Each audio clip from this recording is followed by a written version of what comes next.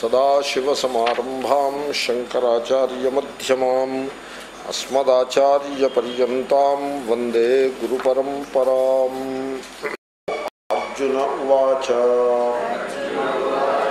अयतिश्रद्धयोपेतो योगाच्चरितमानसः। యోగాచరితమానస అప్రాప్య యోగ సంసిద్ధిం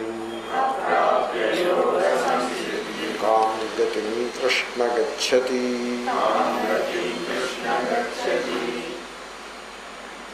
ఈ ప్రశ్నకి సందర్భం ఇలా ఉంది.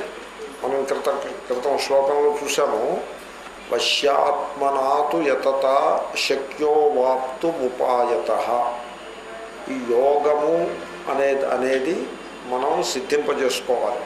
యోగము అంటే తన హృదయంలో ఆత్మరూపంగా ఉండే పరమేశ్వరునిలో విలీనమవుట. ఇది యోగము అంటే. యోగము అంటే కలయిక. ఎవరికి ఎవరితో కలయిక? నేను అని అంటే దేహేంద్రియాదులతో పరిచ్ఛిన్నమైన దేహభావము కలిగి తాదాత్మ్యాన్ని కలిగి నేను అనే ఒక పరిచ్ఛిన్న వ్యక్తిగా వీడు జీవిస్తూ ఉంటాడు. ఆ నేను అనేదానికే జీవుడు అని పేరు. ఈ నేను అనేవాడికే ఈ జగత్తులో ఉండే భోగాలన్నీ ఉన్నాయి. ఈ సుఖాలు భోగాలు దుఃఖాలు ఇన్ని ఎవరికి ఇవన్నీను దేహానికి కాదు లేకపోతే ఇల్లు వాక్యులకి వాటికి కాదు. సో ఇవన్నీ ఎవరికి? ఈ భోగాలన్నీ సుఖాలన్నీ ఎవరికి? అలాగే ఈ దుఃఖాలు ఈ ఆపదలు ఇవన్నీ ఎవరికి? అంటే నేను అనే పరిచ్ఛిన్న వ్యక్తికి ఇవన్నీ ఉద్దేశించబడ్డాయి. ఈ నేను అనే పరిచ్ఛిన్న వ్యక్తి వీడు యోగాన్ని పొందాలి. ఎవరితో యోగాన్ని అంటే ఈశ్వరునితో యోగాన్ని. యోగము అంటే కలయిక. ఈశ్వరుడితో కలయిక అంటే ఈ ఈశ్వరుడు అనేవాడు ఎక్కడో వైకుంఠంలోనో కైలాసంలోనో లేకపోతే గాడ్ ఇన్ ది హెవెన్లో ఉన్నాడు అనుకోండి. అప్పుడు కలయిక అనేది ఈ జీవితంలో సంభవం అయ్యే మాట కాదు. ఎందుకంటే వీడు దేహత్యాగం చేసిన తర్వాత అక్కడికక్కడికో వెళ్తే అక్కడ కలయిక. అది వేదాంతం అంటే అలా ఉండదు. గీత అంటే ఏదో మరణించిన తర్వాత వచ్చేదాని గురించి చెప్పేది కాదు. ఇప్పుడు ఇక్కడ నేను సాధన చేసి ఈశ్వరునితోటి యోగాన్ని పొందవచ్చును. అయితే ఇంతకీ మరి ఈశ్వరుడు ఎక్కడ ఉన్నట్టు? అంటే హృదయంలో ఉన్నాడు. హృదయంలో ఎలా ఉన్నాడు? ఆత్మ చైతన్య రూపంగా ఉన్నాడు. కాబట్టి నేను నా హృదయంలో ఆత్మ చైతన్య రూపంగా ఉండే ఈశ్వరునితో కల కల కలవాలి కలియవలేము కలుసుకొనవలేము. దీని పేరు యోగం. శ్రీరామకృష్ణాల వారు ఓ దృష్టాంతం చెప్పేవారు. ఎలాగంటే ఉప్పుతో తయారు చేసిన బొమ్మ ఉప్పు బొమ్మ. ఉప్పుని జాగ్రత్తగా దాన్ని ఆ, గడ్డ కడుతుంది కదండి ఉప్పు. ఆ గడ్డ కట్టిన ఉప్పుని బొమ్మ ఆకారంగా దాన్ని మలిచి ఇప్పుడు ఈ బొమ్మకి సముద్రము యొక్క లోతు తెలుసుకోవాలని కోరిక పుట్టింది. అప్పుడు సముద్రం లోతు తెలుసుకోవడం అంటే ఎలాగా? ఇప్పుడు చిన్నప్పుడు మీరు ఎప్పుడైనా కాలువల్లోనో లేకపోతే సరస్సుల్లోనో ఈత కొట్టినప్పుడు అడుక్కి ములిగితే మీకు ఎంత లోతుందో కాలుకి నేల తగిలితే ఎంత లోతుందో తెలుస్తుంది. అలాగే ఈ ఉప్పు బొమ్మ వెళ్ళి సముద్రంలో పడింది. దాని లోతు తెలుసుకోవడం కోసం. ఇప్పుడు ఏమవుతుంది ఉప్పు బొమ్మకి? దానికి లోతు తెలిసి లోపల అది సముద్రం అయిపోతుంది. సముద్రంలో విలీనం అయిపోతుంది అలాగే నేను ఈశ్వరుని తోటి స ఈశ్వరుడు నా హృదయంలో ఉన్నాడు. కాబట్టి నేను ఈశ్వరుని కలుసుకునేటప్పటికీ నేను ఈశ్వరునిలో విలీనమై ఉంటాను. దీనికే ఆత్మ సాక్షాత్కారము అని పేరు. ఎందుకంటే ఈశ్వరుడే ఆత్మరూపంగా హృదయంలో ఉన్నాడు కనుక దాన్నే ఆత్మ సాక్షాత్కారం అంటారు. దీనికే ఈశ్వర దర్శనము అని కూడా అంటారు.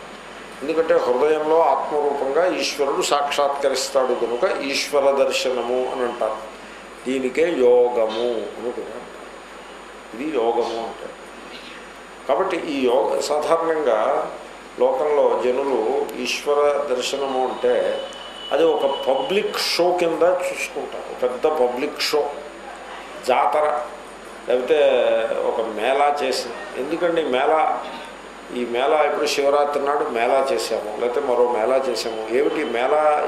దేనికోసం మేళా అంటే కలయిక మేళనము. ఎవరు ఎవరితో కలుస్తారు? సో భక్తుడు దేవుడితో కలుస్తాడు. భక్తుడు దేవుడితో కలవడం అనే ఈ యోగము ఆ విధంగా పబ్లిక్ షో కింద ఒక పెద్ద అట్టహాసంగా ఉంటుందా? ఉండదు. జనం అలా ఉంటుందని అనుకుంటారు పాపం తెలియక అలా అనుకుంటారు. కాబట్టి ఈ యోగం అనేది అలా అట్టహాసంగా ఉండదు. యోగం అనేది ప్రైవేట్ కమ్యూనియన్. అంటే వ్యక్తి ధ్యాన మార్గంలో తన హృదయంలో ఆత్మరూపంగా ఉండే ఈశ్వరునితోటి ఐక్యాన్ని పొందుతాడు. అది యోగం అంటే.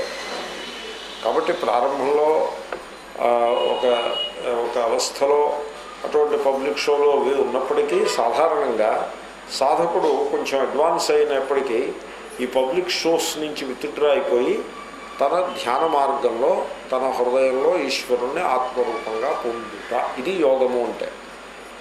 ఇప్పుడు ఈ యోగము ఇది కష్టమా తేలిక? ఒక దృష్టితో చూస్తే కష్టం. ఆ మాట చెప్పాడు పై శ్లోకంలో మీకు దేహము ఇంద్రియములు మనస్సు ఈ మూడు ఉన్నాయి. ఈ మూడు మీ వశంలో పెట్టుకుంటే యోగము చాలా తేలిక. ఈ మూడు మీ వశంలో లేకపోతే యోగము చాలా కష్టం. ఇప్పుడు మహారాజు గారిని దర్శించడం తేలిక కష్టమా? అంటే చూడండి సరిగ్గా డ్రెస్ అది చేసుకోకుండా సరైన పాస్ లేకుండా మహారాజు గారి యొక్క గేటు దగ్గరికి వెళ్తే మీకు రాజుగారు కొద్ది దూరంలో ఒక వంద గజాల దూరంలో ఉండి ఉంటారు. కానీ ఈ గేటు దగ్గర వీడు నిలబడితే రాజుగారు ఎంత దగ్గరగా ఉన్నా వీడి దగ్గర సరైన పాస్ లేదు కనుక వీడి వేషం కూడా సరిగ్గా సక్రమంగా లేదు కనుక వీడికి యోగ్యమైన క్వాలిఫికేషన్ లేదు కనుక వీడిని లోపలికి వెళ్ళదు. ఇంపాసిబుల్ ఆ రాజుగారిని వీడు చూడడం సంభవమే కాదు. అలా కాకుండా వీడి వేషం బాగుండి వీడి దగ్గర సరైన పాస్ ఉందనుకోండి రాజుగారిని చూడడం ఏమీ కష్టం కాదు. లోపలికి అలా చూపించగానే పాస్ చూపించి ఆ వేషం చూసేసి లోపలికి వదిలిపెట్టేస్తారో. అలా పది అడుగులు వేసేప్పటికీ అక్కడ ఆ రాజుగారి యొక్క దర్శనం అవుతుంది. దేవుణ్ణి సాక్షాత్కరించుకోవడం కూడా అటువంటిదే. మన హృదయంలో ఆత్మరూపంగా ఈశ్వరుడు ఉన్నాడు. ఆ ఈశ్వరుణ్ణి మనం సాక్షాత్కరించుకోవటం సంభవమే. ఇటొచ్చి దేహమే నేను అనే ఈ దేహాభిమానము నుండి మనం అతీతంగా ఆత్మస్వరూపం వైపు అడుగులు వేయాల్సి ఉంటుంది. దానికి సాధన అని పేరు.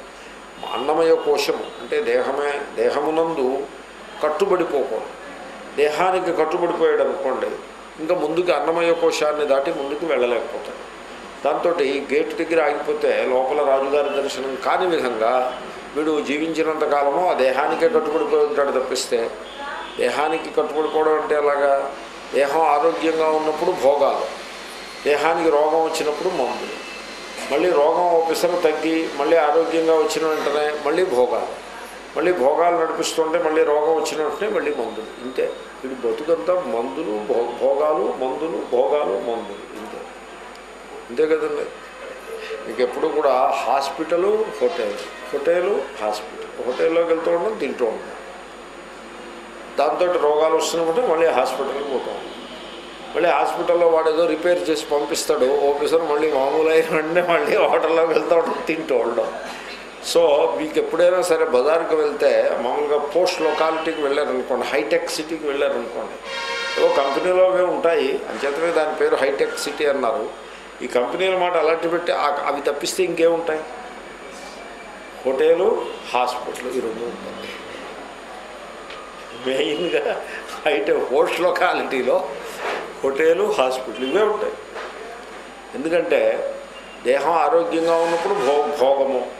ఆరోగ్యం చెడ్డప్పుడు చికిత్స రోగ చికిత్స. వీడు బతుకంతా దీంతో సరిపడుతుంది మొత్తం జీవితం అంతా అలాగే వెళ్ళిపోతుంది. ఈ లోపల మృత్యువు తరువుకు వస్తుంది. ఓ రోజున నోరు వెళ్ళబెడతాడు. అయిపోయాడు. గత స్టోరీ. అలాగే మా దేహానికి అలాగ అతుక్కుపోయిన వాడు వాడు ఆ హృదయంలో ఆత్మరూపంగా ఉండే దేవుణ్ణి దర్శించడం అనే అవకాశమే లేదు. కాబట్టి దేహము అన్నమయ కోశానికి అతీతంగా అలాగే మనస్సు. ఇప్పుడు దేహానికి అతీతంగా దీనికి ఒక రూల్ ఒకటి ఉంది ఒక లా. అంటే సిద్ధాంతం అన్నమాట. ఏమిటి? దేహం మీ వశంలో ఉంటే మీరు దేహానికి అతీతంగా పోగలుగుతారు. దేహానికి బానిసగా మీరుంటే మీరు దేహాన్ని అతిక్రమించలేరు. అది రూల్ అది. కాబట్టి దేహాన్ని నా వశంలోనే పెట్టుకుంటుందాన్ని ఆరోగ్యంగా అటు పెట్టుకుని మంచి డిసిప్లిన్ అది పెట్టి దేహాన్ని నా విషయంలోనే పెట్టుకుంటే అలా కళ్ళు మూసుకోగానే దేహాభిమానం జారిపోతుంది. దేహం దారిని దేహం ఉంటుంది మీరు ఆత్మస్వరూపంలోకి వెళ్ళిపోతారు. అలా కాకుండా దేహం మన వశంలో లేదనుకోండి మనం చెప్పిన మాట వింటది కూర్చోమంటే కూర్చోలేదు. దేహం కూర్చోలేదు. మొన్న ఒకరు వచ్చారు. కుర్చీలు ఖాళీ లేవు. కుర్చీల్లో నలుగురు నాలుగు కుర్చీలు ఉన్నాయి నలుగురు కూర్చున్నారు. ఇంకో పది మంది ఏమో ఇలా బరకాల మీద కూర్చున్నారు. ఈ లోపల ఒక ఆయన వచ్చారు. అయ్యా దయచేయండి కూర్చోండి నేను అన్నానే కానీ ఎక్కడ కూర్చోబెట్టిన ఆయన? నాకు తెలుస్తూనే ఉంది ఆయన బరకం మీద కూర్చోలేరు అని నాకు తెలుస్తూనే ఉంది. ఆయనకి ఆఫర్ చేద్దామంటే కుర్చీ లేదు. నేను కూర్చున్న కుర్చీ ఇచ్చేద్దామంటే ఆయన తీసుకోలేదు మొహమాట కూడా తీసుకోలేదు. ఇంకా తప్పనిసరి ఆ బరకం మీదే కోలబడ్డారు. కూలబడితే అలా కూర్చోగానే పొట్ట అడ్డొస్తుంది ఆయాస పడిపోతూ ఉంటారు ప్యాంట్ ఏమో అడ్డొస్తుంది బెల్ట్ అడ్డొస్తుంది టై ఉంది పాపం చాలా ఇబ్బంది పడుతున్నారు. నేను ఆఖరికి ఒక కుర్చీ ఒకటి సంపాదించి అయ్యా మీరు వచ్చి దీంట్లో కూర్చోండి. ఆయన పాపం బ్రతుకు దేవుడా అని లేచి ఆ కుర్చీలో కూర్చుంది. అంటే దేహము అంత పరతంత్రం అయిపోతుంది అంటే మనం కూర్చోమని చెప్తే దేహం కూర్చోలేదు. నిలబడమంటే నిలబడలేదు. నడవమంటే నడవలేదు. ఇలా నిటారుగా ఉండు అంటే నిటారుగా ఉండలేదు. అటువంటి దేహము అది ఒక బంధం అయిపోతుంది అలా కాకుండా మీరు చెప్పిన మాట వినే బాడీ ఉందనుకోండి ఎలా చెప్తే అలా చేస్తుంది. అటువంటి దేహము మిమ్మల్ని అడ్డుపడద్దు. మీరు దానికి అతీతంగా వెళ్ళిపోతారు. ఆ మాటే పైన చెప్పాడు ఆయన. వశ్యాత్మనాతు యతత. కాబట్టి మీరు ఈ యోగా సాధన చేసేప్పుడు అది ఒక ఉపాయంతో చేయాలి. ఆ మాటే అనుకున్నాం క్రితం క్లాస్లో. సో శక్య అవాప్తుం ఉపాయత. ఆ ఉపాయం ఏమిటంటే దేహాన్ని వశంలో పెట్టుకోవాలి. దేహాన్ని వశంలో పెట్టుకోవడం అంటే ఏం చేయాలండి? ఆహార నియమాలని పాటించటం. అంటే పుష్టికరమైన ఆరోగ్యకరమైన ఆహారాన్ని తగిన మోతాదులో తీసుకోవటం. తర్వాత దేహానికి తగినటువంటి శ్రమ చేస్తూ ఉండటం దేహానికి శ్రమ ఉండాలి. ఇప్పుడు కారు మంచి కండిషన్లో ఉండాలంటే ఏం చేయాలి? దానికి పెట్రోల్ మంచి క్వాలిటీ పెట్రోల్ దాంట్లో పోసి దాన్ని తిప్పుతూ ఉండాలి. దాని మీద ప్రేమ ఎక్కువైపోయి గరాజులో బంధించి పెట్టేశారనుకోండి ఆ కారు ఏమవుతుందంటే తుప్పు పెట్టేసి ఇంజిన్ మళ్ళీ స్టార్ట్ అయితే కూడా స్టార్ట్ అవుతుంది కాబట్టి దానికి ఈ- పెట్రోల్ కరెక్ట్ కల్తీ లేని పెట్రోల్ పోయాలి. కిరసనాయలు కల్తీ పోసిన పెట్రోల్ పోసారనుకోండి పాడైపోతుంది ఇంజన్. కల్తీ లేని పెట్రోల్ పోసి తగు మోతాదులో దాన్ని ఇటు అటు తిప్పాలి. అప్పుడు కారు మంచి కండిషన్లో ఉంటుంది. అదేవిధంగా దేహాన్ని యోగ్యమైన ఆహారాన్ని దానికి ఇస్తూ దానికి తగినంత శ్రమ చేయించాలి దాని చేత. అప్పుడు దేహం ఆరోగ్యంగా ఉంటుంది. దేహం ఆరోగ్యంగా ఉంటే మనకేం ఉపకారం ఏమో రాదు. దానివల్ల మనకేం పుణ్యం రాదు అయితే మనం ఏమో స్వర్గానికి వెళ్ళాం ఈ దేహాన్ని పట్టుకుని. మరి ఇంకేమిటి లాభం అంటే అది అడ్డుపడకుండా ఉంటుంది. దేహం నుంచి మీరేం ఉపకారం అపేక్షించవద్దు. అది అపకారం చేయకుండా ఉంటుంది చాలు. అది చేయదు. ఆ విధంగా వశ్యాత్మనాతు యతత. కాబట్టి దేహాన్ని వశంలో పెట్టుకుని మీరు సాధన చేయాలి. మనస్సుని వశంలో పెట్టుకుని మీరు సాధన చేయాలి. మనస్సుకు బానిసగా ఉన్నట్లయితే అంటే మనస్సు చెప్పినట్టుగల్లా చేయటం. మనస్సులో కోరికలు పుట్టాయనుకోండి ఆ కోరికల వెంట పరిగెడితే మనస్సుకు మీరు బానిస అని అర్థం. మనస్సులో ఏదైనా భయం పుట్టిందనుకోండి ఆ భయం వెంట ఆ భయానికి భయపడుతూ కూర్చుంటే మనస్సుకు మనం బానిస అయినాము అనర్థం సో మనస్సుని పరిశీలిస్తూ సాక్షిగా మనస్సుని దర్శిస్తూ దాంట్లో పుట్టే కామనలకి విలువనివ్వకుండగా మనస్సుతో తాదాత్మ్యం చెందకుండగా మీరు ఉన్నట్లయితే క్రమంగా మనస్సు మీ అధీనంలోకి వస్తుంది. ధ్యాన మార్గంలో శ్రవణము మననము ఇది ధ్యాసనము. మనస్సు మీ అధీనంలోకి ఎప్పుడైతే వచ్చిందో మీరు ధ్యానంలో కూర్చోగానే మనస్సు మీకు ఆటంకము కాదు అడ్డుపడదు. ఎప్పుడైతే దేహము దేహాభిమానము లేక దేహాభిమానాన్ని త్యాగం చేయటం చేత దేహం అనే ఆటంకం తెరుచుకుంది పక్కకు పోయింది.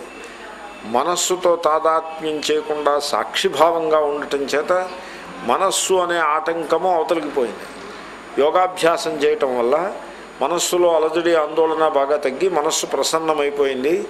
అది ఆటంకపడడం మానేసింది. ఇంకా మీ స్వరూపం మీకు ఎప్పుడూ సిద్ధంగానే ఉంది. కొత్తగా ఏమీ సంపాదించేది ఏమీ కాదు. మీ స్వరూపంలో మీరు విలీనమైపోయి ఉంటారు. ఇది ఎలాగంటే తరంగము సముద్రాన్ని చేరుకోవాలంటే ఏం చేయాలి? తన హడావిడి మానేసి సముద్రంలో విలీనమైతే చేరేసిందంతే. ఆ విధంగా మీరు ఆత్మనిష్ఠులే ఉంటారు. దాని పేరే జీవన్ముక్తి దాని పేరే మోక్షము దాని పేరే ఈశ్వర దర్శనము దాని పేరే ఆత్మ సాక్షాత్కారము. అది ఏ ము- పరమ పురుషార్థము? ఇది పరిస్థితి. దీనికి మనం అందుకోవాలి. దీనికి అందుకోవాలని చెప్పేసి శ్రీకృష్ణుడు చెప్తే అర్జునుడు అంటాడు సపోజ్ వీడికి శ్రద్ధ ఉంది. ఆత్మరూపంగా ఈశ్వరుణ్ణి ధ్యాన యోగం ద్వారా నేను సాక్షాత్కరించుకోవాలి అని శ్రద్ధ ఉంది. ఏమండి? సరే సాధన మొదలుపెట్టాడు. సాధన మొదలు పెడితే ఈ యోగ సాధన ధ్యాన యోగం చేశారనుకోండి ఇప్పుడు ఏదైనా ఓ యజ్ఞమో లేకపోతే ఒక పూజో అయితే ఒక పెద్ద ఉత్సవము జరుగుతుంది అనుకోండి బ్రహ్మోత్సవం లాంటిది ఏదైనా జరుగుతుంది అనుకోండి దేవాలయంలో. అయితే యజ్ఞం జరుగుతుంది అనుకోండి మీరు వెళ్ళి ఆ యజ్ఞం చేస్తే ఏమొస్తుంది? పుణ్యం వస్తుంది. ఆ పుణ్యం వల్ల మీకేం లాభం కలుగుతుంది? స్వర్గలోక ప్రాప్తి లభిస్తుంది. మరణించిన తర్వాత స్వర్గం లభిస్తుంది. చూడండి ఇక్కడ మూడు అంశాలు ఉన్నాయి ఒకటి మీరు ఈ ధ్యాన యోగాలు ఇవే పక్కన పెట్టి వెళ్ళి చక్కగా బిజినెస్ చూసుకున్నారనుకోండి. ఇక ఈ ధ్యాన యోగంలో కూర్చుంటే మనకేం వచ్చింది? ఆత్మ ఎప్పుడు ఈ ఆత్మ ఎప్పుడు ఉండేదే కదా దీంట్లో ఇప్పుడు కొత్తగా వచ్చేదే ఉంది.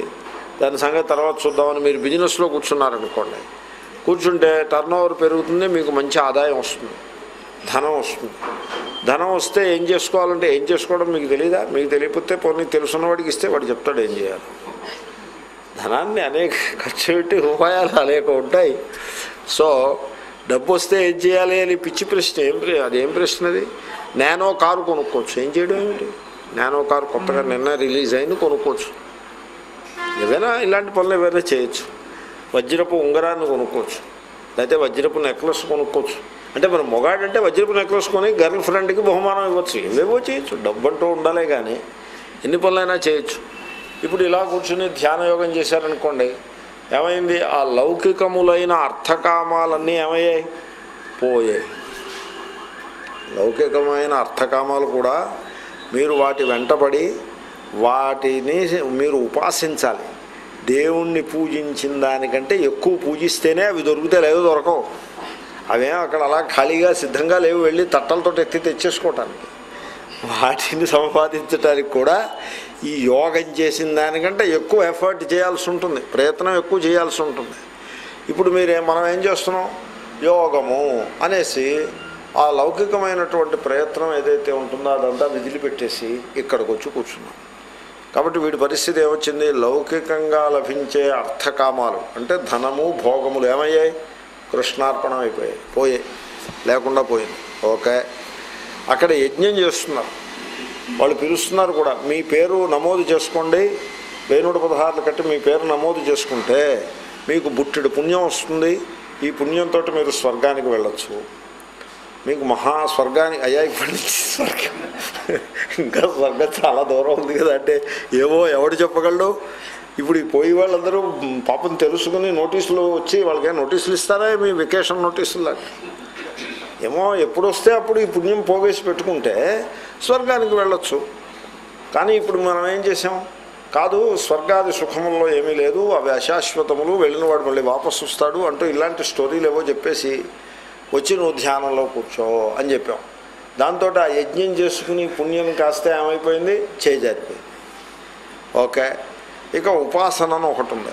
అంటే ఓ మంత్రం ఏదో పట్టుకుని ఒక దేవతను ఉపాసన చేస్తే ఆ దేవత యొక్క లోకాన్ని పొందొచ్చు. దేవతాలోకం అని ఉంటుంది మీరు ఎక్స్ దేవతను ఉపాసన చేస్తే ఎక్స్ లోకానికి వెళ్ళొచ్చు వై దేవతను ఉపాసన చేస్తే వై లోకానికి వెళ్ళొచ్చు. అలా ఉంటుంది ఉపాసన.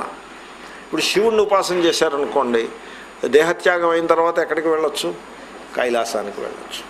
కైలాసానికి వెళ్ళి ఏం చేస్తారంటే ఏం చేసినా చేయొచ్చు. ఇప్పుడు అమెరికా వెళ్ళాడు అనుకోండి ఏదో ఒకటి చేస్తాడు. అసలు ముందు వెళ్తే అక్కడ ఏదో చేస్తాడు. దుబాయ్ వెళ్ళిపోయాడు అనుకోండి దుబాయ్ వెళ్ళి వీడు ఏం చేస్తాడంటే తర్వాత ఏదో అక్కడికి వెళ్ళాక చూస్తామండి ముందు వెళ్ళనివ్వండి ముందని వెళ్ళి విమానంలో మా మమ్మల్ని కూడా ఉండాలి కానీ వెళ్ళి విమానంలో కూర్చుని దుబాయ్ దిగిన తర్వాత అవసరమైతే ఏదైనా చేస్తాం. అది ముందు వెళ్ళనివ్వయా సో ఇప్పుడు ఏం చేసాము ధ్యాన యోగం అని పేరు పెట్టి ఈ ఉపాసన లేకుండా చేసాం ఇప్పుడు ఎన్నింటిని విధులుపెట్టి ధ్యాన యోగానికి వచ్చాడు వీడు చెప్పండి మీరు. లౌకికములైన అర్థకామాలను విధులుపెట్టేశాడు కర్మకాండ ద్వారా వచ్చే పుణ్యానికి తిలోదకాలు ఇచ్చాడు. దేవతోపాసన ద్వారా లభించేటువంటి దేవతానుగ్రహాన్ని కూడా విదిలిపెట్టాడు. ఇప్పుడు హనుమంతుణ్ణి మీరు ఉపాసన చేస్తే ఇప్పుడు ఆయన ఎవరో తెగ టీవీలో ఏ ఛానల్ పెట్టినా ఆయనే ఆయన పె- గడ్డం కూడా పెట్టుడు గడ్డం నిజమైన గడ్డం కాదు. ఆర్టిఫిషియల్ గడ్డం ఒకటి పెట్టుకుని ఏ ఛానల్ పెట్టినా ఆయన ఏమంటున్నాడంటే మీరు ఈ పంచముఖి హనుమాన్ను ఉపాసన చేయండి. ఎలా ఉపాసన చేయాలి? మా దగ్గర ఈ కవచం ఉన్నది. ఇది మీరు పోస్ట్లో తెప్పించేసుకోవచ్చు. దాంతో మీరు ఉపాసన చేయండి. చేస్తే మీకు మహాపుణ్యం వస్తుంది ఇది వస్తుంది అది వస్తుందని ఆయన చెప్తున్నాడు. ఇప్పుడు మనం ఏమంటున్నాం? ఆత్మరూపంగా ఈశ్వరుడు సాక్షాత్కారం అంటే ఇప్పుడు హనుమంతుడిని ఉపాసన చేసే అవకాశం లేదు. హనుమంతుడిని ఉపాసన చేస్తే ఆయన మన అనుగ్రహిస్తే ఏమో ఏం లాభాలు వస్తాయో. ఇప్పుడు అవన్నిటికీ గుడ్ బై చెప్పినట్టు అయింది కదా. అంటే ఇప్పుడు మీరు ఎన్నింటికి గుడ్ బై చెప్పారు? లౌకికములైన అర్థకామాలకి గుడ్ బై. కర్మకాండ వల్ల లభించే స్వర్గాది భోగాలకి గుడ్ బై. స్వర్గంలో ఎంత భోజనం చేసినా కడుపు నొప్పి రాదుట. అది చూసారా మీరు? ఎంత ఎంత ఎంత అద్భుతమైన విషయాలు భోజనం చేసినా కడుపు నొప్పి రాదు. తర్వాత ఇప్పుడు పార్టీ ఇక్కడ పార్టీ ఉందనుకోండి లోకల్ పార్టీస్. పార్టీస్ అంటే రాజకీయ పార్టీ కాదు పార్టీ డిన్నర్ పార్టీ. ఉందనుకోండి అది ఆరంభమై అంతమైపోతుంది. ఇంకా స్వర్గంలో ఇంకా అంతమేమో అలా నడుస్తూ ఉంటుంది పార్టీ. వాళ్ళు కనురెప్ప ఇలా ముయ్యరు. అలా ఉండదు అలా తెరిచే ఉంటారు. వాళ్ళు నిద్ర రాదనమాట. అబ్బా ఇది ఎంత బాగుందో చూడండి. తర్వాత ఎప్పుడూ ముప్పై ఏళ్ళే. మామూలుగా బాంబే సినిమా స్టార్స్ వయస్సు ఎప్పుడూ ఇరవై ఏడే ఉంటుంది అది పెరగదు. ఆమె ఈ వయస్సు వెళ్తాను అడిగితే ట్వంటీ సెవెన్. అవ్వ మీరు last year twenty. Last year twenty seven అని చెప్పినట్టు ఉన్నారంటే what are you talking twenty seven bus note it. మళ్ళీ ఏడాది వెళ్ళి మళ్ళీ అడిగితే ట్వంటీ సెవెన్. ఆ తర్వాత ఏడాది వెళ్ళి అడిగితే ట్వంటీ ఎప్పుడు ట్వంటీ సెవెన్? ఇది నమ్మశక్యంగా లేదు. కానీ దేవలోకంలో మీరు నమ్మేసేయండి. అంతే. ఇంకా అది త్రిదశాహ. వాళ్ళకి దేవతలకి పేరేమిటి? త్రిదశాహ. అంటే మూడు పదుల వయస్సు ఎప్పటికీ దాటదు. ఇప్పుడు చిన్నపిల్లాడిగా పుట్టాడు అనుకోండి చిన్నపిల్లాడిగా పుడితే వీడికి భాష రాదు. తర్వాత తన శరీరాన్ని తాను శుచి చేసుకోవటం కూడా తెలియదు తర్వాత ఏవో రోగాలు ట్రిపుల్ యాంటీజన్ పోలియో ఇంజక్షన్లు ఇవేవి పెరిగి వీడు భోగాలు అనుభవించాలంటే ఇరవై ఇరవై ఐదేళ్ళ దాకా ఆగాల్సి ఉంటుంది. కానీ స్వర్గంలో అలా కాదు. మీరు పుట్టడం పుట్టడం ముప్పై ఏళ్ళు ఉన్నట్టుగా పుడతారు. There there are no issues of childhood. Childhood issues ఏవి ఉండవు. డైరెక్ట్గా ముప్పై ఏళ్ళ వయసుతో పుట్టేస్తారు. ఇంకా వయస్సు పెరగదు. అక్కడ ఫ్రీజ్ అయిపోయి ఉంటుంది. అంటే ముప్పై ఏళ్ళ వయస్సుతో ఉన్నట్టుగా పుట్టి ముప్పై ఏళ్ళ వయస్సులోనే ఉంటారు. అంటే ముప్పై ఏళ్ళు అంటే అది ప్రైమ్ ఆఫ్ యూత్ అనమాట అది. అంటే అలా భోగాలను అలా అనుభవించుకుంటూ పోవడం. ఇది స్వర్గం. ఇప్పుడు వీడు యజ్ఞం చేసుకుంటే వెళ్ళేవాడు అక్కడికి. మనం ఏం చేసాం ఇప్పుడు యోగం అని పేరు పెట్టి అది రొంత చేజారిపోయింది. ఏమంటే దేవతను ఉపాసన చేస్తే దేవతాలోకం లభించేది. సంతోషి మాత్రం ఉపాసిస్తే ఆలోకం లభించేది. లేకపోతే ఉమాదేవిని ఉపాసిస్తే ఉమాలోకం లభించేది. మీరేమో ఇది కాదు అన్నింటికీ అన్నింటినీ విధులు పెట్టించారు వీడి చేత. ఇప్పుడు వీడు ఇక్కడికి వచ్చి ధ్యాన యోగంలో కూర్చున్నాడు. కూర్చుంటే ఏమైంది? యోగాత్ చలిత మానస. ఆ యోగం నుండి మనస్సు చెలించిపోయింది. ఇవన్నీ వదిలిపెట్టుకొచ్చాడు. యోగం నుంచి మనస్సు చెలించిపోయింది. చలించిపోతే ఇంకా మనస్సు చలించిపోతే ఆ యోగము సిద్ధించి ఈశ్వర దర్శనం అవటం అనేది ఎక్కడి నుంచి వస్తుంది? మనస్సు నిశ్చలంగా ఏకాగ్రంగా ఉన్నప్పుడు వీడికి ఆ కమ్యూనియన్ ఆ హృదయంలో ఆత్మరూపంగా ఉండే ఈశ్వరునితోటి యోగం వస్తుంది కానీ మనస్సు చెలించిపోయింది. సో ఏ రకంగా చెలించిపోయిందంటే అనేక రకాలు. మన ఇప్పుడు కాంబినేషన్ లాక్ ఉందనుకోండి. కాంబినేషన్ లాక్ అంటారు. ఒక్క కాంబినేషన్ వల్లే తెరుచుకుంటుంది. ఏమండి? తెరిచి కాంబినేషన్స్ ఎన్ని ఉంటాయి ఒక్కటి ఉంటుంది తెరవకుండా ఉండే రాంగ్ కాంబినేషన్స్ ఎన్ని ఉంటాయి రెండు వందల యాభై ఐదు ఉంటాయి.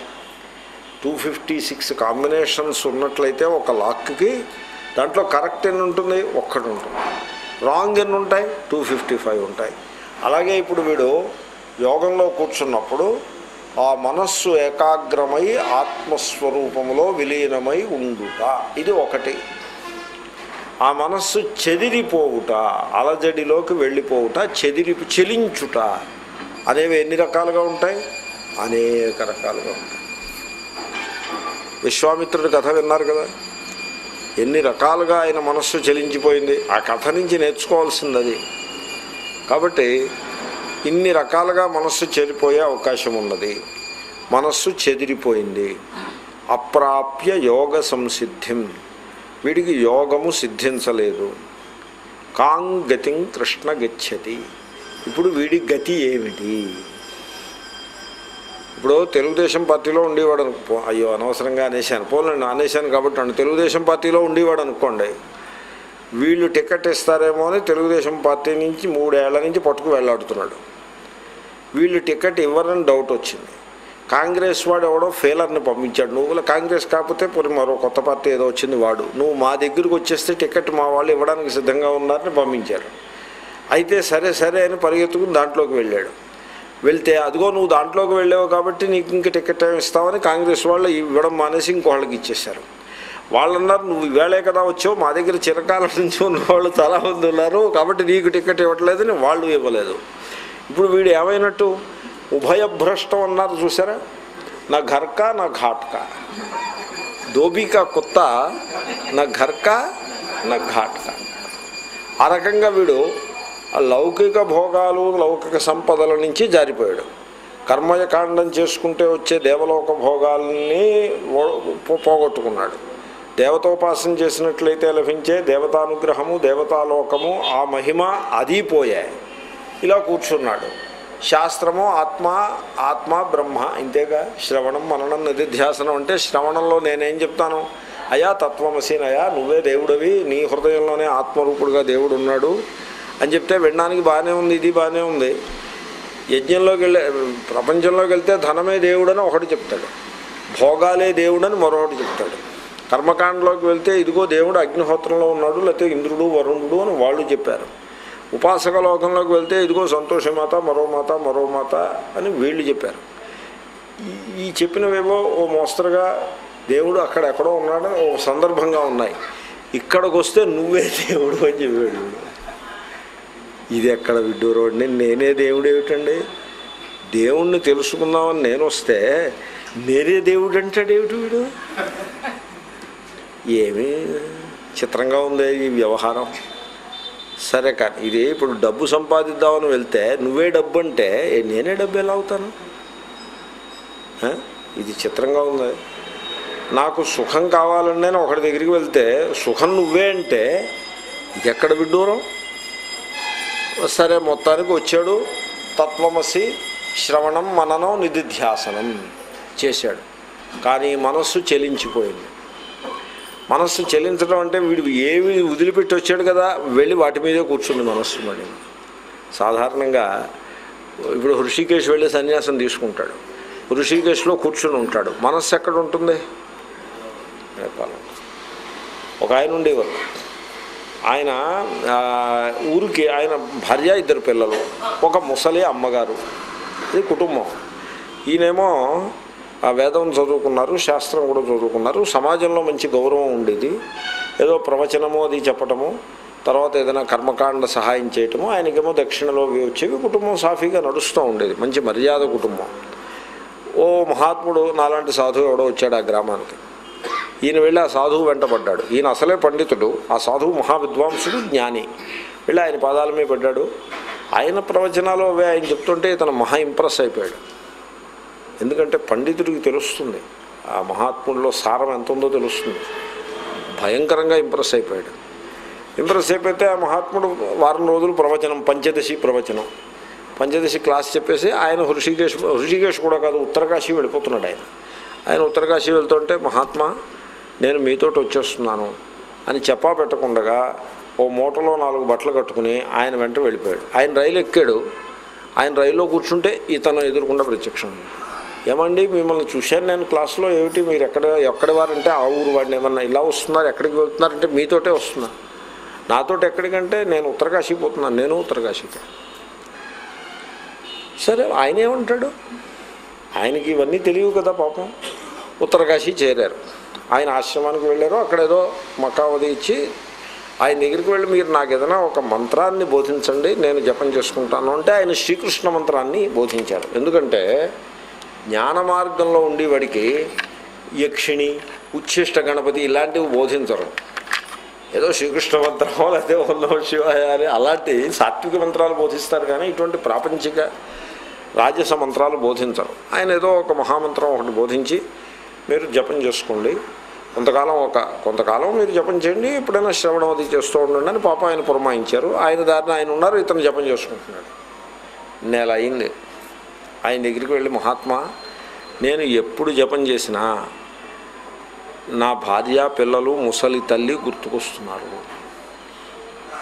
ఎలా గుర్తుకొస్తున్నారంటే నేను వాళ్ళతో చెప్పా పెట్టకుండా వచ్చేసాను. వాళ్ళు నా కోసం మహా దుఃఖాన్ని అనుభవిస్తున్నట్టు తినడానికి తిండి కూడా లేనట్టు పిల్లలు అలో లక్ష్మణాన్ని ఏడుస్తున్నట్టు ముసలి తల్లి అనారోగ్యంతో రోగం సేవ కూడా చేసేవాడు లేదన్నట్లు అలాగా నాకు ఆ రీల్ అలా తిరిగిపోతుందండి. ఈ ఉన్నమ శివాయ నేనేమీ చేసినా చేసినట్టే లేదు అని చెప్పారు.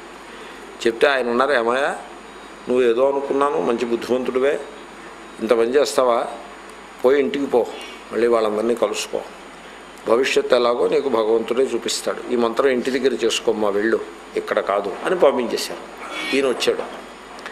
సంచి పట్టుకుని వచ్చాడు. ఇంటి దగ్గర ఎవ్వళ్ళు అలో లక్ష్మణ అని ఏడవట్లేదు. తల్లిగారు ఏమీ రోగంగా ఏం లేదు బాగానే ఉన్నారు పాపం పెద్ద ఆవిడైన భార్య తన పనులే పోతాను చేసుకుంటూ వంట అది వండుకుంటూ ఆ పూట కూర పప్పు ఆవిడ హడావిడిలో ఆవిడ ఉంది. ఈయన వచ్చి ఆ మూట ముందు గదిలో పెట్టారు. పెట్టిన వెంటనే తల్లిగారు వెళ్ళారు ఎరా అబ్బాయి అంతగా ఎక్కడికి వెళ్ళావు?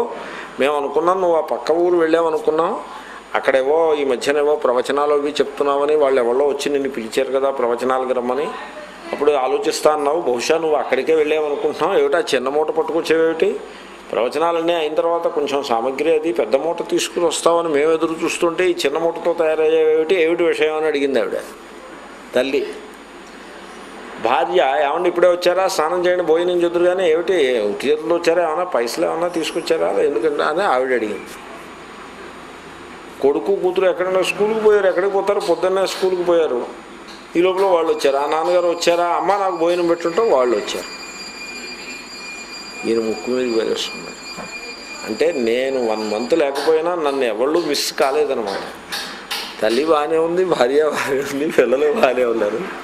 నేను వన్ మంత్ లేకపో అక్కడ జపం చేస్తున్నప్పుడు ఏమిటి?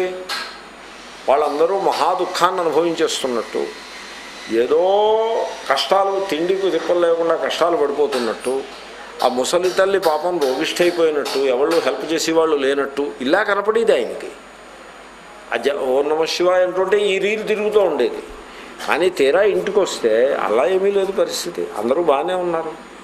పైగా వాళ్ళందరూ ఏమిటయా వన్ మంత్ ఏం చేసినట్టు నువ్వు ఉత్తి చేతులతో వచ్చావు ఎక్కడికి వెళ్ళావేమిటి అని వాళ్ళు నిరుత్సాహపడ్డారు. ఈయన ఉత్తి చేతులతో వచ్చినందుకు పెద్ద మూట తీసుకురాలేదని అప్పుడు ఆయన సత్యాన్ని గుర్తించాడు. ఈ సంసారంలో ఆసక్తి అనేది మన హృదయంలో ఉంటుంది తప్ప బయట అనే ఎక్కడ ఏమీ ఉండదు. ఇంతకీ ఇప్పుడు చెప్పింది జరిగిన కథే. ఆయన తరువాతి కాలంలో సన్యాసం తీసుకున్నారు యథార్థంగా సన్యాసం తీసుకున్నారు. ఎవరికి కష్టం చేసి తీసుకోలేదు అందరూ క్షేమంగానే ఉన్నారు తీసుకున్నారు. కాబట్టి ఈ విధంగా యోగంలో కూర్చుంటే మనస్సు భయంకరంగా చెలించిపోతుంది. అప్పుడు ఏమైంది? ఇటు యోగ సంసిద్ధి అంటే మనస్సు ఏకాగ్రమై ఆత్మనిష్ట కుదిరితే లభించేటువంటి మోక్ష పురుషార్థము హుష్కాకి అది దొరకలేదు. ఏమండి? అంతకుముందు దొరికే ఛాన్స్ ఉన్నవి ఇతను పట్టుకోలేదు. దొరికే ఛాన్స్ ఉన్నవి పట్టుకోలేదు కదా? లౌకికమైన భోగాలు కామానలు అర్థ ధనము అవి బిజినెస్ చేసుంటే ఇదే ఎఫర్ట్తో చేసుంటే దొరికేది. అది పట్టలేదు. ఓ కర్మకాండ చేసుకుంటే పుణ్యమైనా దక్కేది. అది దొరకలేదు. ఉపాసన చేస్తుంటే దేవతానుగ్రహమైనా లభించేది. ఆ దేవతని కాళ్ళు పట్టుకుంటే ఆ దేవత ఏదో ఏదో ఆవిడ చేసి అనుగ్రహం ఏదో ఆవిడ చేసేది. అది దొరకలేదు. ఇప్పుడు ఏమైపోయాడంటే ఇటు యోగము సిద్ధించలేదు. అటు ఈ మూడు రకాలుగా లభించే పురుషార్థాలు ధర్మార్థ కామ అనే మూడు పురుషార్థాలు అవి పోయాయి. ఉన్న పురుషార్థాలు నాలుగు ధర్మ అర్థ కామ మోక్ష. ఈ మోక్షాన్ని పట్టుకుందామంటే మోక్షం దొరకలేదు. ఈ లోపల ధర్మ అర్థ కామ పోయాయి. ఇప్పుడు వీడు ఏం చేయాలి? ఇది ఎలా ఉందంటే ఓ మహాత్ముడు ఒక గృహ ఒక బ్రహ్మచారి దగ్గరికో ఒక ఆయన దగ్గరికి వెళ్ళాడు. ఆయన ఒంటరిగా ఉన్నాడు ఆయన దగ్గరికి వెళ్ళాడు. ఆయన అప్పుడే రొట్టెలు కాల్చుకుని ఏవో నాలుగు రొట్టెలు చేసుకున్నాడు ఏదో కూర ఏదో చేసుకుని తినబోతున్నాడు. ఈ మహాత్ముడు వచ్చాడు అక్కడికి. వచ్చి ఏమిటో ఆ రొట్టెలు అలా ఉన్నాయి? మరీ నల్లగా ఉన్నట్టున్నాయి. అంటే ఎక్కువ కాలేయా ఏమిటి? అయినా ఏమిటి ఆ వీటి క్వాలిటీ ఏం బాగులేదు. ఏదో కొంచెం ఇసుక అది ఉన్నట్టుందే.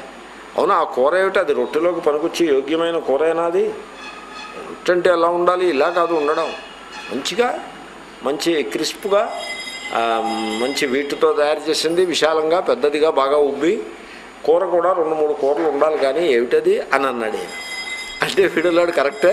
అయితే ఇప్పుడు నన్ను ఏం చేయమంటారు? ఏం చేయడం ఎలా తింటావో? అవతల పారేయమన్నారు వీడు తీసుకెళ్ళి అవతల పారేసి వచ్చాడు. మహాత్ముడు సరే నేను వెళ్ళొస్తాను లేచి మరి నా భోజనం మాట నీ పోయిన నాకేం తెలుసు? అంటే మరి ఈ రొట్టెలు నేను పారేసాను కదా నిన్ను పారేసాను అంటే అవి బాగులేవు బాగులేవు కాబట్టి బాగులేవు అన్నాను నేను. నేను నేను వాటి స్థానంలో బాగున్న రొట్టెలు ఇస్తాను అవి బాగులేవు కాబట్టి బాగులేవన్నారు మరి అవి పారేసి మీరు ఇచ్చేది లేకపోతే నా మాట ఏమిటి? నాకేం తెలుస్తుంది నీ మాట ఏమిటోను అని అన్నాడు ఇప్పుడు మన యోగా అలా అయిపోకూడదు. ఇగో మీకు యోగం సిద్ధించేస్తుంది మీరు ధ్యానం చేసేయండి ఇచ్చేసేయండి వచ్చేసేయండి. కర్మ వల్ల మీకు మోక్షం రాదు. నా కర్మణ నా ప్రజయ ఈ సంతానం మిమ్మల్ని రక్షించదు. ధనేన డబ్బే మిమ్మల్ని ఉద్ధరించదు. మీరు యోగం చేతనే త్యాగే నైకే అమృతత్వమా నశు ఈ మంత్రం మీరు వినే ఉంటారు. కేవలం త్యాగం చేతనే మీకు మోక్షం వస్తుంది అని చెప్తే కాబోసునుకుని వీడు కర్మ వదిలిపెట్టాడు ప్రజ సంతానాలు వదిలిపెట్టాడు దానం వదిలిపెట్టాడు. అవన్నీ వదిలిపెట్టాడు కానీ ఈ యోగం మాత్రం దొరకలేదు. వీడు ఉభయభ్రష్టుడైనాడు. ఉభయభ్రష్ట అనే పదం ఇక్కడి నుంచే వచ్చింది గీత నుంచే. వాడికి ఏ గతి వస్తుంది? అని అడిగారు. ఇలాంటిదే దృష్టాంతం ఇంకొకటి ఉంది. త్రిశంకు అని ఓ మహారాజు ఉండేవాడు. రామాయణంలో ఉంది ఈ కథ. ఇంట్రెస్టింగ్ స్టోరీ ఈ త్రిశంకు వశిష్ఠుడి దగ్గరికి వెళ్ళాడు. మహర్షి ఆయన త్రిశంకు మహారాజు నేను ఒక గొప్ప యజ్ఞం ఎంత కఠినమైన యజ్ఞమైనా చేస్తాను కానీ బొందితో స్వర్గానికి వెళ్ళాలి అని కోరాడు. త్రిశంకు ఆయన పేరు. కోరితే వశిష్ఠ మహర్షి చెప్పారు అలాంటి యజ్ఞాలు ఏం లేవయ్యా. నువ్వు యజ్ఞం నేను చెప్తాను నువ్వు చేసుకో. నీ రాజ్యానికి వెళ్ళి నీ బతుకు నువ్వు బతుకు. రాజ్యపాలనాది చేసుకో. పెద్ద వయసు వచ్చిన తర్వాత దేహం పడిపోయిన తర్వాత అప్పుడు ఆ పుణ్యం చేత నీకు స్వర్గం దొరుకుతుంది. అంతేగాని ఈ దేహంతో స్వర్గానికి వెళ్ళడం అలాగేం కుదరదు అని విశిష్ట మహర్షి రిఫ్యూజ్ చేశాడు. వశిష్ఠుడు రిఫ్యూజ్ చేశాడు కాబట్టి నేను యాక్సెప్ట్ చేస్తున్నాను అన్నాడు విశ్వామిత్రుడు. ఎందుకని వశిష్ఠుడికి ఈయనకి పోటీ. వశిష్ఠుడి వైపు నుంచి ఏ పోటీ లేదు. విశ్వామిత్రుడి వైపు నుంచే పోటీ. స్పర్ధ. సో త్రిశంకుకి స్పర్ధ గురించి తెలుసు. విశ్వామిత్రుడి దగ్గరికి వచ్చారు. ఎవరాయా నువ్వు త్రిశంకు? ఏమిటి ఎక్కడి నుంచి వస్తున్నావు? అయోధ్య నుంచా అని అడిగాడు. అయోధ్య నుంచి కాదు వశిష్ఠుని ఆశ్రమం నుంచి వస్తున్నానని చెప్పాడు. అదేమిటి? అక్కడ అయోధ్య నుంచి చెప్తే ఇంట్రెస్ట్ ఉండేది కాదు. సరే వెళ్ళిరా ఆశీర్వచనం నుంచి వస్తాను వెళ్ళిరా అని ఉండేవాడు. విశా వశిష్ఠుడి ఆశ్రమం నుంచి వస్తున్నాను అనేప్పటికీ అదేవిడు అక్కడికి ఎందుకు వెళ్ళావు? అంటే నేను స్వర్గాన్ని చేరే ఉపాయంగా ఒక యాగాన్ని చేయించమని కోరటానికి వెళ్ళాను అన్నాడు. అంటే మరి ఆయన చేయించాడా లేదా? ఆయన చేయించని అన్నాడు. దేహంతో స్వర్గానికి వెళ్ళడం కుదరదుట. ఓహో అలాగా అలాగన్నాడే. సరే ఆయన అన్నమాట కూడా అంత తప్పు మాట ఏం కాదు కానీ అయినా కూడా దానికి ఏదైనా మనం ఉపాయం ఆలోచిద్దాం. నేను చేపిస్తా చేస్తావా అని అడిగాడు. నేను చేస్తాను. సరే యజ్ఞం మొదలుపెట్టారు. విశ్వామిత్రుడు తన తపస్సంతా ధారపోసి హే త్రిశంకు యజ్ఞం అయిపోయిన తర్వాత ఈ మహాపుణ్యంతో నువ్వు స్వర్గానికి వెళ్ళిపో నిన్ను నేను స్వర్గానికి పంపిస్తున్నాను అని పంపించాడు. రాకెట్ విదిలిపెట్టినట్టుగా పంపించాడు. ఈ త్రిశంకు స్వర్గానికి వెళ్ళాడు. కథండోయ్ ఇక కథని కథన స్వీకరించడమే వెళ్తే ఆ గేట్ దగ్గర ఎవరో ఎవరా నువ్వు త్రిశంకు? ఇలా వచ్చేటంటే స్వర్గానికి వచ్చాను విశ్వామిత్ర మహర్షి పంపించాను. ఇంద్రుడికి వెళ్ళింది ఈ వార్త. ఆయనకి స్వర్గానికి రావడానికి వీల్లేదు ఆ దేహంతో స్వర్గ ఆ చెమట కంప కొట్టుకుంటూ ఇక్కడికి ఎందుకు వీడు? ఆ దేహంతో ఇక్కడికి రావడానికి వీల్లేదు తోసేయండి వాడిని అన్నారు. తోసేశారు. ఈ రా ఆ భటులు స్వర్గ భటులు తోసే స్వర్గంలో కూడా భటులు ఇవి వాళ్ళు ఉంటారన్నమాట. తోసేశారు. తోసేస్తే పడిపోతున్నాడు ఆయన. హే విశ్వామిత్ర మహర్షి రక్షించవయా నేను పడిపోతున్నాను నన్ను ఈ స్వర్గవాసులు తోసేశారు. అంటే నువ్వు అక్కడే ఆగన్నాడు ఆయన. మహాతపస్యాలు కదా ఆగాడు. Hey Indra what is your problem అంటే మహర్షి బుందితో స్వర్గం కుదరదయా? అది రూల్స్కి కుదరదు అది ఇది ఎలాగంటే వీసా లేకుండా అమెరికా వెళ్ళడం ఎలా కుదురుతుంది? వీసా ఉంటే అమెరికా. మీకు ఒక విమానం కంపెనీకి మీరు అధిపతి అయినా కూడా మొత్తం విమానం కంపెనీలు ఉంటాయి కదా ఆ కంపెనీ అంతా మీ స్వంతం అయినా కూడా మీరు వీసా లేకుండా అమెరికా వెళ్ళలేరు విమానం ఉన్నా కూడా. వీసా ఉండాలి. అలాగే ఎంత పుణ్యం ఉన్నా ఆయన దేహత్యాగం అయిన తర్వాత స్వర్గం కానీ ఇప్పుడు స్వర్గం ఏమిటి? కాబట్టి రావడానికి వీర్లేదు మహర్షి sorry about it we cannot help it అంటే అప్పుడు మహర్షి అన్నాడు సరే నీ స్వర్గం మాకు అక్కర్లేదు. ఏ ఏ త్రిశంకు నువ్వు ఇంక కిందకి రాక అక్కడే ఉండు. నీ చుట్టూ ఇంకో స్వర్గాన్ని నేను సృష్టిస్తున్నాను అని విశ్వామిత్ర మహర్షి ఆ స్వర్గం ఎలా మోడల్ ఎలా ఉంటుందో అటువంటి స్వర్గాన్ని ఒకదాన్ని ఇక్కడ క్రియేట్ చేశాడు. క్రియేట్ చేసి ఈ స్వర్గంలో ఉండు. బ్రహ్మగారు సృష్టించిన స్వర్గంలో నీకు స్థానం లేకపోతే నేను సృష్టిస్తున్న స్వర్గం దాంట్లో ఉండు అని అన్నాడు. ఆయనకి త్రిశంకు స్వర్గము అని పేరు. అర్థమైందండి? ఇప్పుడు ఆ రకంగా వీడి యోగభ్రష్టుడైన వాడికి ఏదైనా ఓ త్రిశంకు స్వర్గం ఒకటి సృష్టించాలి. శ్రీకృష్ణుడు సృష్టించాలి. ఎందుకంటే శ్రీకృష్ణుడేగా సలహా చెప్పాడు మరి యోగం నువ్వు నేర్చుకొని. కాబట్టి ఈ విధంగా త్రిశంకు స్వర్గం లాంటిది ఏదైనా ఉందా? ఎలాగా? ఈ యోగభ్రష్టుడైన వాడి గతి ఏమిటి? వాడు ఏం గతిని పొందుతాడు? కాంగతిం కృష్ణ గచ్చతి అని అడిగాడు. ఏమంటే యోగం ఫెయిల్ అవుతుందని మీరు ఎందుకు అలాగా ఎందుకంటే చూడండి కాన్ఫిడెన్స్ ఉండడం మంచిదే. ఆప్టిమిజం ఉండాలంటారు మంచిదే. కానీ లోకంలో ఒక సత్యం ఉంది ఏమిటంటే శ్రేయాంసి బహువిఘ్నాన్ని భవంతి మహతామపి. మీరు ఏదైనా గొప్ప పని చేయదలుచుకుంటే ఆ చేయదలుచుకున్న వాళ్ళు ఎంత గొప్పవాళ్ళైనా విఘ్నాలు అనేకం వస్తాయి.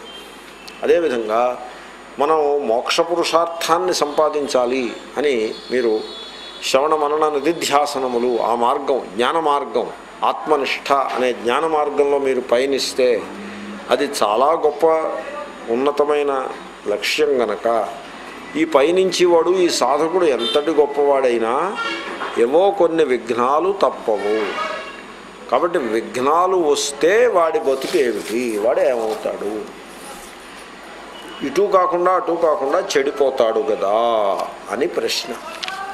సరిపడిందండి ప్ర ఇంతవరకు చెప్పింది ప్రశ్న ఉండో సిద్ధాంతం కాదు ఉదికే ప్రశ్నే చెప్పాను ఆ ప్రశ్న ఇంకో శ్లోకం కూడా ఉంది. అందాము. కచ్చిన్నోభయ విభ్రష్ట. చిన్నాభ్రమివ నశ్యతి. అప్రతిష్టో మహాబాహో. మూఢో బ్రహ్మణ పథి. అదే. ఇప్పుడు వీడు ఈ సాధకుడు మనస్సు చెలించిన కారణంగా యోగంలో మనస్సు నిలవని కారణంగా ఇటు యోగం నుంచి జారిపోయి అటు ఇంతకుముందు ఉన్న మార్గములు వాటిని విదిలిపెట్టేయడం మూలంగా అవి లేక ఇది పోగొట్టుకుని మధ్యలో గాల్లో అలా వేలాడుతూ ఉండిపోతాడేమో. ఉభయ విభ్రష్ట. ఇటు కాకుండా అటు కాకుండా అయిపోతాడేమో. దానికి ఒక దృష్టాంతం చెప్పారు. చిన్నాభ్రమివ నశ్యతి. దీనికి ఈ దృష్టాంతం ఎలాగంటే ఇప్పుడు వర్షాకాలంలో ఓ పెద్ద గుంపు ఒకటి వస్తుంది. మేఘాల గుంపు. మొత్తం ఆకాశమంతా విస్తరించి పెద్ద మేఘముల గుంపు వస్తుంది. ఇప్పుడు గాలి వీచినా ఎంత గాలి వీచినా ఆ గుంపు అది నీటితో నిండి బరువుగా ఉంటుంది కనుక ఎంత గాలి వీచినా ఆ గుంపు అలా నిలబడి ఉంటుంది. పెద్ద మేఘముల యొక్క జంఝ అంటారు. హ్యూజ్ మాస్ ఆఫ్ క్లౌడ్స్ అలా ఆకాశంలో నిలిచి ఉంటుంది. ఇప్పుడు చిన్న మేఘ శకలము అంటే మేఘము యొక్క ముక్క చిన్న శకలము. అది ఆ గుంపు నుంచి బయటపడింది. నాకు ఈ గుంపు వద్దు. ఇంత పెద్ద మేఘంతో నేను ఎందుకు కలిసి ఉండాలి? నేను ఇండిపెండెంట్గా నా ప్రయాణం నేను చేసుకుంటాను అని ఆ గుంపు నుంచి మేఘశకలం బయటపడింది. బయటకు వచ్చింది బయటికి రాగానే బయటకు వచ్చి ప్రయాణం ప్రారంభించింది. ఎక్కడికో వెళ్ళాలని ప్రయాణం ప్రారంభించింది. ఈ లోపల గాలి వీచింది. గాలి వీచితే ఈ చిన్న మేఘశకలము చెక్కల ముక్కలు చిన్న భిన్నం అయిపోయింది పది ముక్కలై పది వైపులకి ఎగిరిపోయి లేకుండా అయిపోయింది అర్థమైందండి? అది మేఘము. చిన్న అభ్రం ఇవ. అంటే ముక్కలు ముక్కలైన మేఘ శకలము వలె. ఇప్పుడు లోకాన్ని మీరు చూడండి. అందరూ చక్కగా బిజినెస్ చేసి డబ్బులు సంపాదించుకుంటున్నారు. వీడు ఏం చేశాడు? వాళ్ళందరితో కలిసి ఉన్నాడు అనుకోండి. వీడు పది రూపాయలు వీడు సంపాదించుకోవచ్చు. కానీ వీడేమన్నాడు? నేను యోగాన్ని సాధిస్తాను అన్నాడు. అని వాళ్ళని వదిలిపెట్టి బయటకు వచ్చేసాడు. బయటకు వస్తుంటే వాళ్ళు చెప్పారు అరే ఈ యోగం అన్నీ ఎందుకురా నాన్న? దా మాతో కూడా బిజినెస్ చేసుకో డబ్బులు వస్తాయని చెప్పారు కూడా వాడు. విన్నాడు కాదు వచ్చేసాడు. అలాగే భోగాలు ఉన్నాయి. బ్రదర్ కమాన్ లెటస్ ఎంజాయ్ అని వాళ్ళందరూ కలిసి ఎంజాయ్ చేస్తున్నారు. వీడిని కూడా ఇన్వైట్ చేశారు. వీడు కూడా ఒక కుర్చీ కూడా వేశారు. అక్కడ స్థానం అది కూడా కల్పించారు క్లబ్లో భోగానికి దానికి. నో నో నథింగ్ డూయింగ్ ఈ భోగాలన్నీ వ్యర్థం వైరాగ్యం. నేను యోగము అని ఆ గ్రూప్ నుంచి బయటకు వచ్చేసాడు. ఈ లోపల దేవాలయంలో వాళ్ళు ఏదో యజ్ఞాలు పూజలు మేళాలు ఉత్సవాలు చేస్తున్నారు. బ్రహ్మోత్సవాలు అవి చేస్తున్నారు. ఇలా వెంకటేశ్వర స్వామి బ్రహ్మోత్సవంలో పాల్గొన్నట్లయితే వాడికి మహాపుణ్యం వచ్చేస్తుంది. వెంకటేశ్వర స్వామి సాక్షాత్ వైకుంఠాన్ని ఇచ్చేస్తాడు అని వాళ్ళు చేస్తున్నారు. లేకపోతే యజ్ఞం చేస్తే స్వర్గానికి వెళ్ళొచ్చు వాళ్ళు వెయ్యి మంది కలిసి యజ్ఞం చేస్తున్నారు. దాంట్లో జాయిన్ అయిపోతే ఆ యజ్ఞం చేసుకోవచ్చు. ఆ గ్రూపు విధులు బయటకు వచ్చేసాడు. ఈ లోపల ఉపాసకుల గ్రూప్ ఉంది ఒకటి. వీళ్ళు ఉపాసకులు. ఆ ఉపాసన చేస్తూ ఉంటారు. చేసి ఆ దేవతానుగ్రహాన్ని సంపాదిస్తారు. ఏదో ఉచ్ఛిష్ట గణపతనో మరొకటనో మరొకటనో. వీడు అది వదిలిపోయి వాళ్ళు వచ్చారు "ఏరే నూరా ఈ దేవతను పట్టుకో. ఈ దేవతను పట్టుకుంటే ఇంక నీకు ఢోకా ఉండదు. నీకు అన్ని సమస్యలు పరిష్కారం అయిపోతాయి. నీకు మోక్షం కూడా ఆ దేవత ఇచ్చేస్తుంది అని వాళ్ళు పాపం చెప్పారు. వీడు విన్నాడు కాదు అక్కడి నుంచి వచ్చేసాడు. ఇప్పుడు ఇక్కడ కూర్చున్నాడు. ఆత్మనిష్ట అని మొదలుపెట్టాడు. గాలి వేస్తే ఆ మేఘశకలం పది ముక్కలు అయినట్టుగా వీడి మనస్సు ఏకాగ్రం కాకుండా వంద ముక్కలైంది. ఓసారి ఇటు ఓసారి అటు ఆ వదిలిపెట్టినవన్నీ గుర్తుకొస్తూ ఉంటాయి. అంటే వాడు వదిలిపెట్టినట్ట వదిలిపెట్టనట్ట? వదిలిపెట్టలేదు. ఏది వదిలిపెట్టలేదు. వదిలిపెట్టానని అనుకున్నాడే కానీ ఏది వదిలిపెట్టలేదు. ఇప్పుడు ఇద్దరు మాంగ్స్ ఇద్దరు సన్యాసులు బుద్ధిస్ట్ మాంగ్స్ వాళ్ళు వాళ్ళ మొనాస్టరీ వైపు నడిచి వెళ్తున్నారు. మొనాస్టరీలు ఉంటాయి బుద్ధిస్ట్ మాంక్స్వి. అంటే ఆశ్రమం లాంటిది అనమాట అక్కడికి నడిచి వెళ్తున్నారు. దారంతా బురద బురదగా ఉంది. వర్షం పడింది. సో ఈ లోపల ఒక అందమైన యువతి ఈ ఇటు ఆ దారికి ఇటువైపు ఉన్న భవనం నుండి ఇటువైపు ఉన్న భవనానికి వెళ్ళాలి ఆవిడ. ఆవిడ తెల్లటి మల్లె పువ్వు వంటి గౌను. గౌను ఇలా ఫ్లోయింగ్ అంటారు వర వివాహం చేసుకున్నప్పుడు వేసుకుంటారు చూడండి. మల్లె పువ్వుల వలె స్వచ్ఛమైన తెల్లని వస్త్రములు ఆవిడ కట్టుకుని ఆ గుమ్మం దగ్గరికి వచ్చింది. ఆ గుమ్మం దాటి ఈ బురద రోడ్డు దాటి అవతల వైపు ఉన్న భవనంలోకి వెళ్ళాలి ఆవిడ. ఎలాగ వెళ్ళడం? అడుగు వేస్తే ఇంత పెద్ద ఫ్లోయింగ్ డ్రెస్ గౌను. నేల అంతా కూడా రాసుకుపోతుంది. అది బురదలో పడితే ఏమైపోతుంది? తెల్లటి మల్లెపూ లాంటి డ్రెస్సు. ఆవిడ పాపం స్టన్ అయిపోయి ఎలాగరా భగవంతుడా? ఇంత బురద ఉందా ఈ దారి. అని అలా నిలబడిపోయి ఉండిపోయింది. అప్పుడే ఈ బురదలో నడిచి వెళ్తున్నారు ఇద్దరు మాంగ్స్. వాళ్ళలో ఒక ఆయన ఏమా అలా ఇబ్బంది పడుతున్నావు? ఇటు నుంచి అటు వెళ్ళడమా? అంటే అవును అవును తలకాయ ఊపింది ఆవిడ. నేను నీకు దారి చూపిస్తానని ఆవిడని తన చేతుల్లోకి ఎత్తుకున్నాడు. ఎలాగో బురదలోనే ఉన్నాడు? ఈయనకేం ఈయన కష్టమేం లేదు. కదా చేతుల్లోకి ఎత్తుకుని అవతల వైపు రోడ్డుకి అవతల వైపు గుమ్మల దగ్గర దిగబెట్టేసి ఆవిడ అమ్మయ్య థ్యాంక్స్ మహాత్మా అని ఆవిడ లోపలికి వెళ్ళిపోయింది. ఆవిడ డ్రెస్ పెర్ఫెక్ట్ డ్రెస్ క్లీన్గా ఉండాలండి డ్రెస్ తేడా రాకూడదు. ఆవిడ లోపలికి వెళ్ళిపోయింది. ఈ ఇద్దరు మాంక్స్ వీళ్ళు నడిచేసి వీళ్ళు రెండో మాంక్ అలా కళ్ళు అప్పగించి చూశాడు. అయిపోయింది నడిచి వెళ్ళిపోయారు మొనాస్టరీ వచ్చింది. ఇంకో గంట సేపు నడిచిన తర్వాత వీళ్ళు చేరుకోవాల్సిన ఆశ్రమానికి చేరుకున్నారు.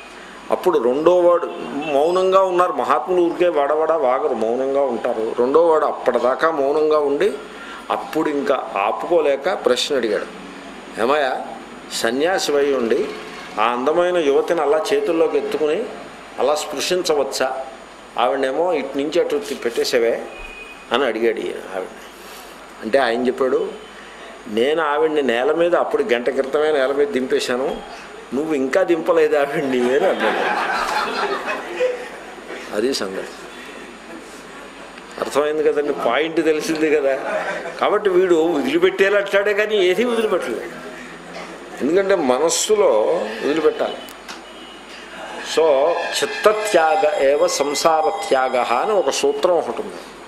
సంసారాన్ని త్యాగం చేయటం అంటే ఫిజికల్గా అక్కడి నుంచి దూరంగా పోవడమనో లేకపోతే అది తీసుకెళ్ళి రోడ్డు మీద పారేసి రావడమనో అలా కాదు త్యాగం చేయడం అంటే. చిత్తత్యాగ మీ మనస్సులో త్యాగం చేయాలి.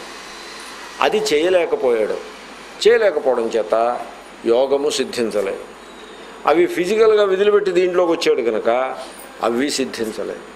ఇప్పుడు వీడి గతి ఏమిటి? వీడు ఆ పెద్ద గుంపు నుంచి విడిపోయిన మేఘశకలంలాగా చిన్నాభిన్నం అయిపోవడా చిన్నాభిన్నం అవడం అంటే ఏమిటి? అప్రతిష్ట దేంట్లోనూ నిలకడ లేనివాడు అటు భోగాలలోనూ నిలబడలేదు. కర్మలోనూ నిలబడలేదు.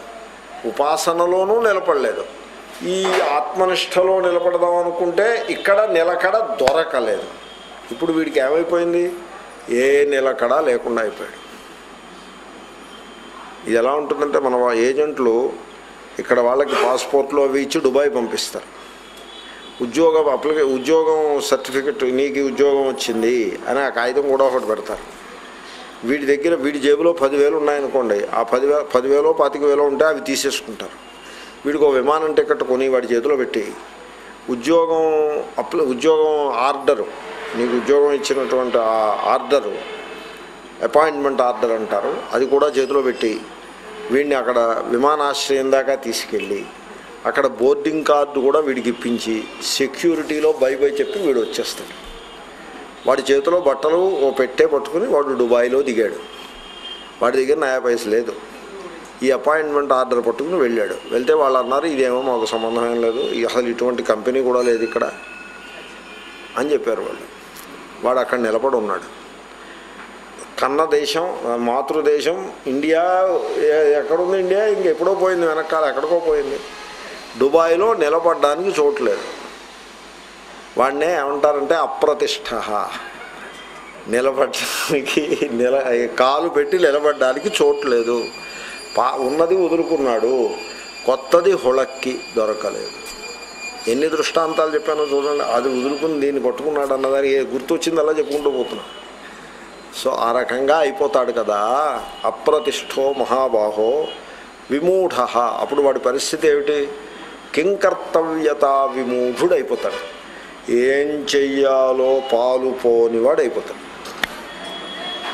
బ్రహ్మణ పథి ఆ బ్రహ్మ మార్గమునందు అంటే ఆత్మ జ్ఞాన మార్గ జ్ఞాన మార్గము ఆ మార్గంలో వీడికి నిలకడ దొరకలేదు.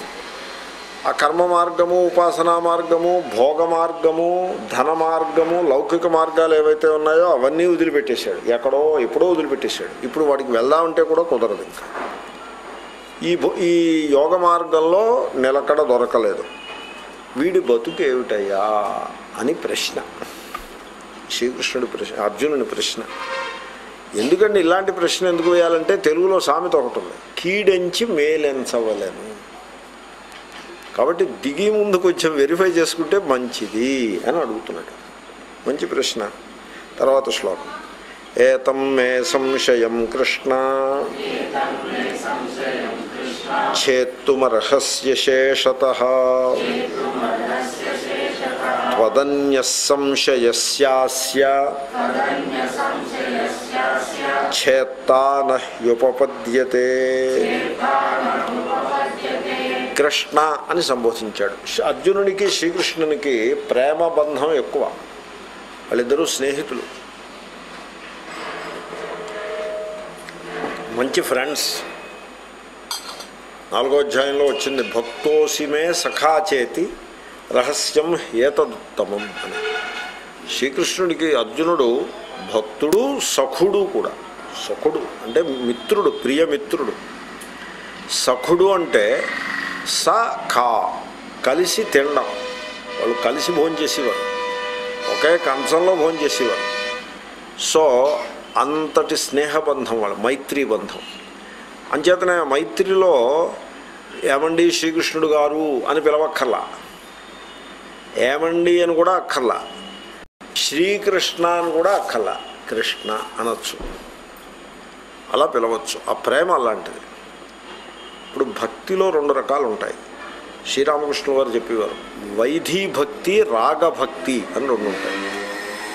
వైధీ భక్తి అంటే ఆ విధి రూల్స్ రెగ్యులేషన్స్ ఉంటాయి. పూజ చేసే పద్ధతి ఉంటుంది. పూజ చేసేప్పుడు ఆచమనం చేయాలి. తూర్పు వైపు తిరిగి ఆచమనం చేయాలి. ఖచ్చితంగా తూర్పే ఉండాలి. ఈ మూలకో ఆ మూలకో కాదు. ఖచ్చితంగా తూర్పు వైపు తిరిగి ఆచమనం చేయాలి. తర్వాత వస్త్రము కట్టుకునేందుకు కరెక్ట్గా ఓ పద్ధతిలో కట్టుకోవాలి. ఉత్తరీయం కూడా ఓ పద్ధతిలో వేసుకోవాలి. అది మెడలో ఇలా ఉండాలి. ఇటువైపు అటువైపు సమానంగా ఉండాలి. ఆ కుర్చీళ్ళు ఖచ్చితంగా ఉండాలి అంటూ అన్ని రూల్సే. ఇంక దేవుడికి పూజ చేసేప్పుడు ఆ దేవుడి బొమ్మ ఇంత పొడుగు ఉండాలి ఇంత వెడల్పు ఉండాలి ఏమీ తేడా మార్పు జరుపు ఉండకూడదు. రూల్స్ ఎన్ని రూల్స్ ఉంటాయో చూడండి. మీరు ఎప్పుడైనా పూజ చూస్తే తెలుస్తుంది. దానికి ఏవేవో రూల్స్ ఉంటాయి. సో ముఖ్యంగా దేవాలయాల్లోనూ అక్కడ రూల్స్ ఎక్కువ ఉంటాయి. సాధకుడు ఏం చేస్తాడంటే ఈ రూల్స్ అన్నీ సిస్టమేటిక్గా చేస్తాడు. చాలా పెర్ఫెక్ట్గా రూల్స్ అన్నీ పాటిస్తూ ఉంటాడు. అది భక్తి. అది దాన్ని వైధీ భక్తి అంటారు. విధి అంటే రూల్ రూల్స్. ఇప్పుడు అప్పుడప్పుడు వెంకటేశ్వర స్వామి దేవాలయంలో కాంట్రవర్సీ వస్తూ ఉంటుంది. ఏమిటంటే కాంట్రవర్సీ? ఇప్పుడు వెంకటేశ్వర స్వామికి అభిషేకం చేస్తున్నారనుకోండి పాలు చేసి పెరుగు చేయాలా? పెరుగు చేసి పాలు చేయాలా అని ఏదో అలాగంటే అలాగంటే రూల్ దగ్గర తేడా వస్తుంది. ఒకడంటాడు పాలు చేసి ముందు పాలు తర్వాత పెరుగు అంటాడు అని ఏదో శ్లోకం చదువుతాడు. ఏదో శ్లోకం చెప్తాడు. ఆయనకు వచ్చిన పుస్తకంలో శ్లోకం ఆయన చెప్తాడు. ఇంకొక ఆయన అంటాడు ఆ పుస్తకం కాదు ఇంకో పుస్తకం ఇంకో పుస్తకం ఎప్పుడూ ఉంటుంది. ఇంకో పుస్తకం ఎప్పుడూ ఉంటుంది. లోకం అంటే ఎవరు అలాగే ఉంటుంది. ఒక పుస్తకం ఇంకో నాలుగు పుస్తకాలు ఉంటాయి. మీకు చదివి ఒప్పుకుంటే. ఆ పుస్తకంలో అలా చెప్పారు కాబట్టి ముందు ఇది తర్వాత అదే ఆయన అంటాడు. వీళ్ళిద్దరూ అలా దెబ్బలాడుకుంటూ ఉంటారు. వీళ్ళిద్దరికి తెమలది ఎప్పటికీ ఎప్పుడైనా మీకు తెలుసు కదా రామనవమి ఎప్పుడు చేయాలి? మూడో తారీఖా నాలుగో తారీఖా? ఈ దెబ్బలాట్లు మీరు చూస్తూనే ఉంటారు కదా. దీన్ని వైధీ భక్తి అండి వీడు భక్తుడే వాడు భక్తుడే. ఎవరయా రామనవమి ఎప్పుడు చేయడం రోజు చేయి ఇప్పుడు చేయి. ఇప్పుడు నవ్వు ఏడు నిటాయిగా కూర్చో. కళ్ళు మూసుకో. కళ్ళు మూసుకుని రామా రామా అని రాముడిని శరణాగతి చేయి. ఇవి ఎప్పుడో మూడో తారీఖు నాలుగో తారీఖు ఎందుకు వచ్చారు ఇప్పుడు అంటే అంటే అది అది పలికిరాదు మళ్ళీ హీ కెనాట్ డూ దట్ ఎందుకంటే వైధీ భక్తి అగో అలా ఉంటుంది. దాని మీద క్యాల్కులేషన్ చేస్తాడు. ఏమిటి క్యాల్కులేషను నవమి ఆరంభంలో రామనవమా నవమి ఎండులో రామనవమా అని ఆరంభం చేస్తాడు. ఇవాళ పొద్దున్న పదకొండింటికి ఆరంభమై రేపు పొద్దున్న ఏడింటికి పూర్తయింది ఈ నవమి. ఆ నవమి కూడా పునః అలా ఎందుకు? ఏదో ఓ రోజులో ఉండొచ్చు కదా. అది ఓ పెసర్ ఇటు ఓ పెసర్ అటు అన్నట్టుగా ఉంది ఆ నవమి. ఇప్పుడు ఏం చేయాలి? ఇవాళ పొద్దున్న పదకొండింటికి ఆరంభమైంది రేపు పొద్దున్న ఏడింటికి ఎండ్ అయింది. ఇప్పుడు ఏం చేయాలి? ఏం చేయాలంటే మన ఎండోమెంట్ డిపార్ట్మెంట్ వాళ్ళ ఆస్థాన విద్వాంసులు ఒక ఆయన ఉన్నారు. ఆయన చిక్కడపల్లిలో ఉంటారు. ఆయన్ని అడిగితే ఈవేళ చేయాలని చెప్తాడు ఆయన. ఎందుకంటే ఈవేళ మేజర్ మేజర్ మేజర్ అంతా ఈవేళ ఉంది కదా ఈవేళ చేయాలి ఆయన చెప్తాడు. గవర్నమెంట్ వాళ్ళు సెలవు ఇవ్వాలి ఇప్పుడు తర్వాత ఎండోమెంట్ డిపార్ట్మెంట్ వాళ్ళు ఇప్పుడు కళ్యాణం కూడా చేయాల్సింది వాళ్ళే కదా. కాబట్టి ఇవాళ చేయాలని ఈ ఊరు ఆయన చెప్తాడు.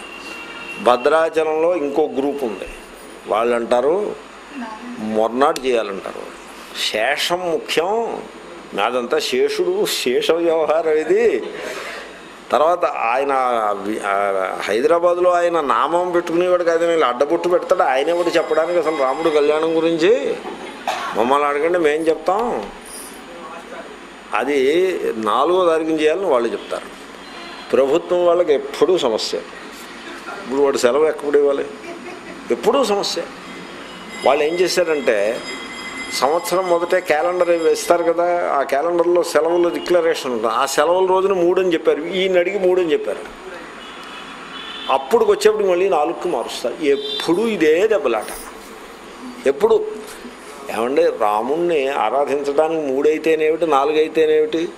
దీనికోసం వాళ్ళు మూడో తారీఖు దాకా నాలుగో తారీఖు దాకా ఎందుకు వేచి ఉండాలి? ఇప్పుడు ఈ క్షణంలో నేను రాముణ్ణి మనస్సా ప్రార్థిస్తున్నాను శరణాగతి చేస్తున్నాను. దీన్ని రాగభక్తి అంటారు. రాగభక్తికి రూల్స్ మీద పెద్ద పట్టింపు ఉండదు. ఇప్పుడు నాలాంటి పుట్టుగాడిని ఏమంటే మూడో తారీఖున రామనవమి చేసుకుంటున్నాను రెండన్న రెండన్నరకు నేను ఆనందంగా వచ్చేస్తా.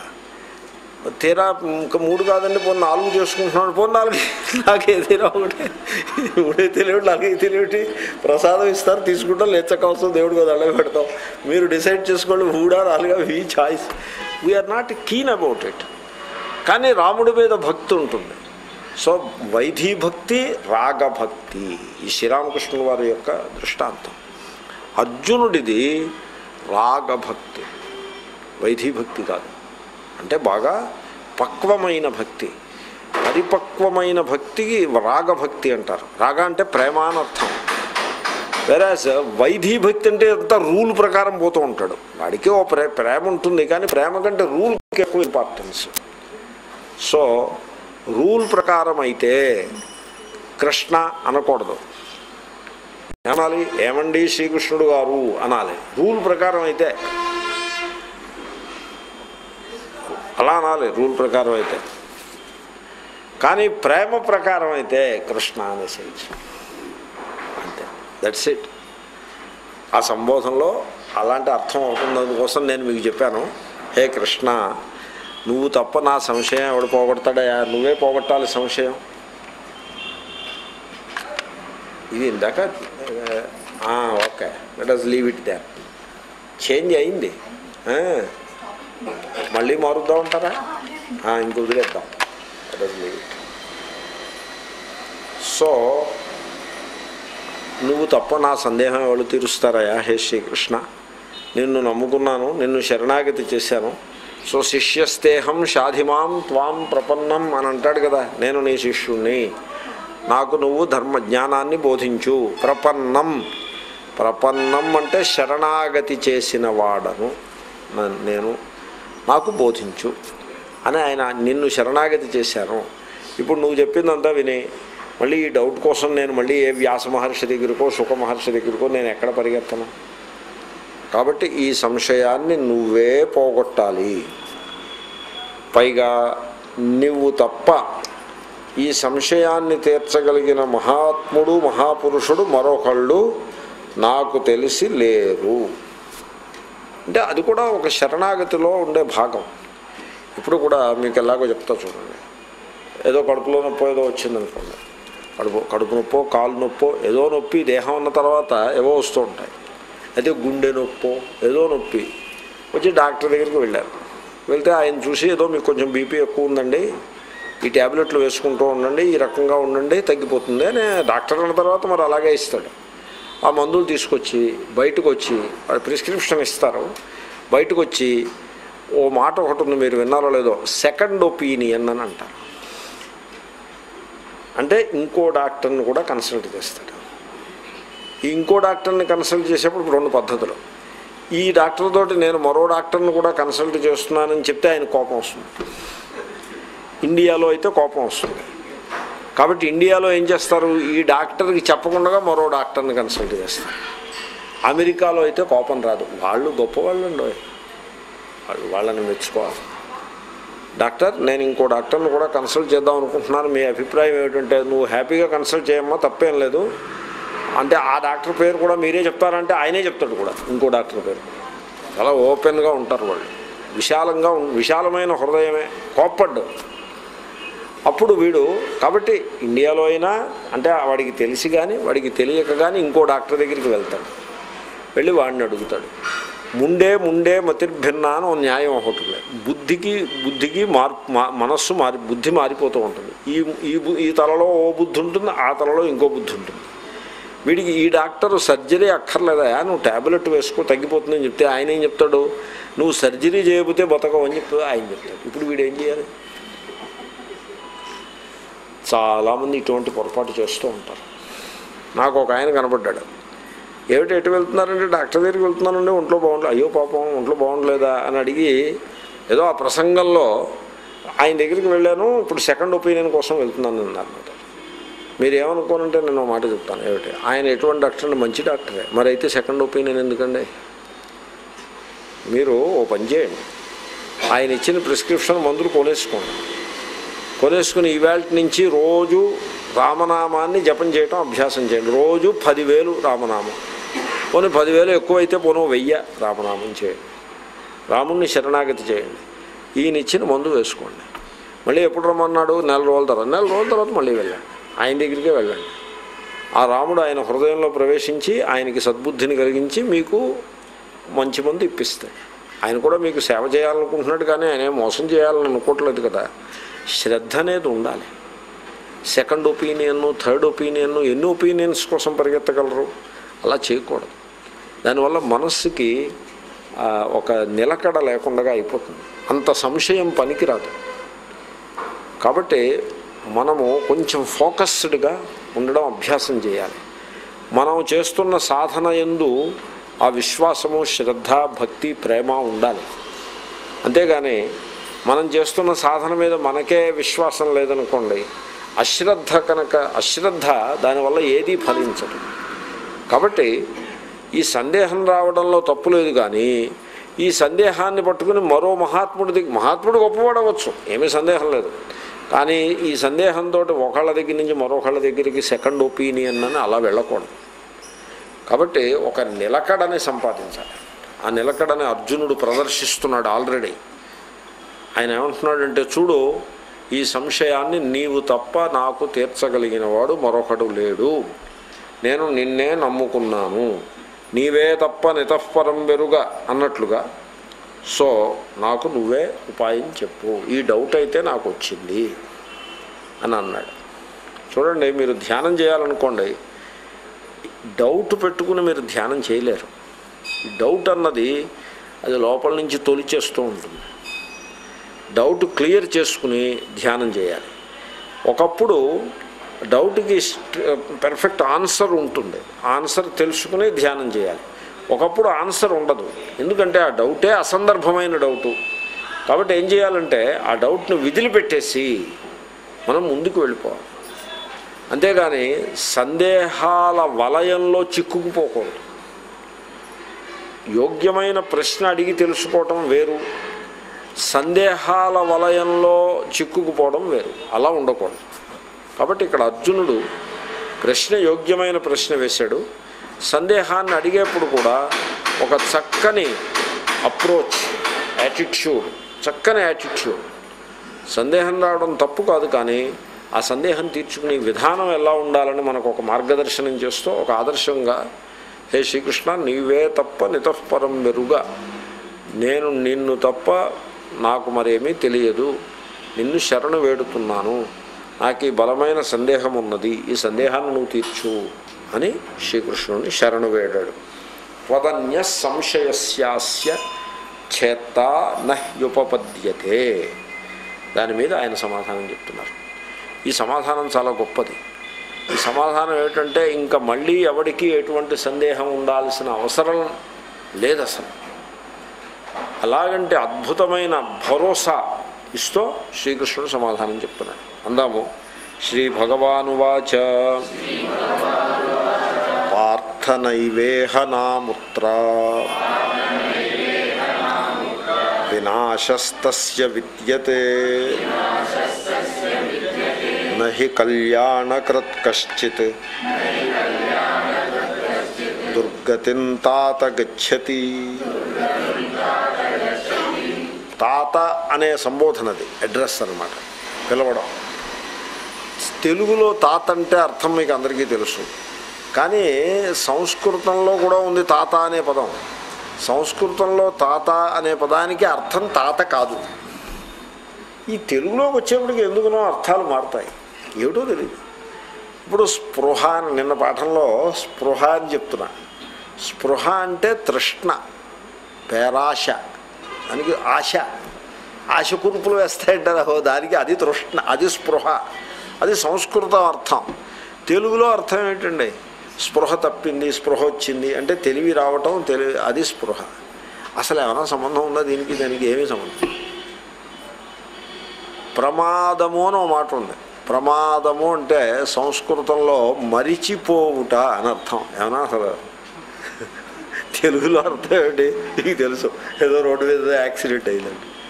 కాబట్టి ఈ కొన్ని పదాలకి తెలుగు సంస్కృతంలో కొంచెం గడబడి ఉంటుంది. ఈ తాత అనే పదం కూడా అలాంటిది. సంస్కృతంలో తా మీరు సంస్కృతం చదువుకున్న వాళ్ళు ఎవరిని అడిగినా చెప్తారు. తాత అంటే తండ్రి అని అర్థం. కొడుకు అని మరో అర్థం. అంతేగాని తండ్రి అని అర్థం అండి. తండ్రి అని అర్థం. అంతేగాని తాత గ్రాండ్ ఫాదర్ అనే అర్థం కనపడదు.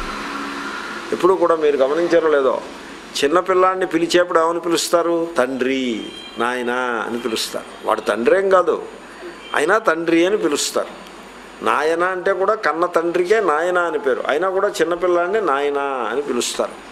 నాయన పేరు కూడా పెట్టుకుంటారు. అలా అంటే ప్రేమ ఉన్నప్పుడు అలా పిలుస్తారు. శ్రీకృష్ణుడు అర్జునుడిని అలా పిలుస్తున్నాడు. తాత అంటే నాయన. అంటే ఎంత ప్రేమగా చెప్తున్నాడో చూడండి.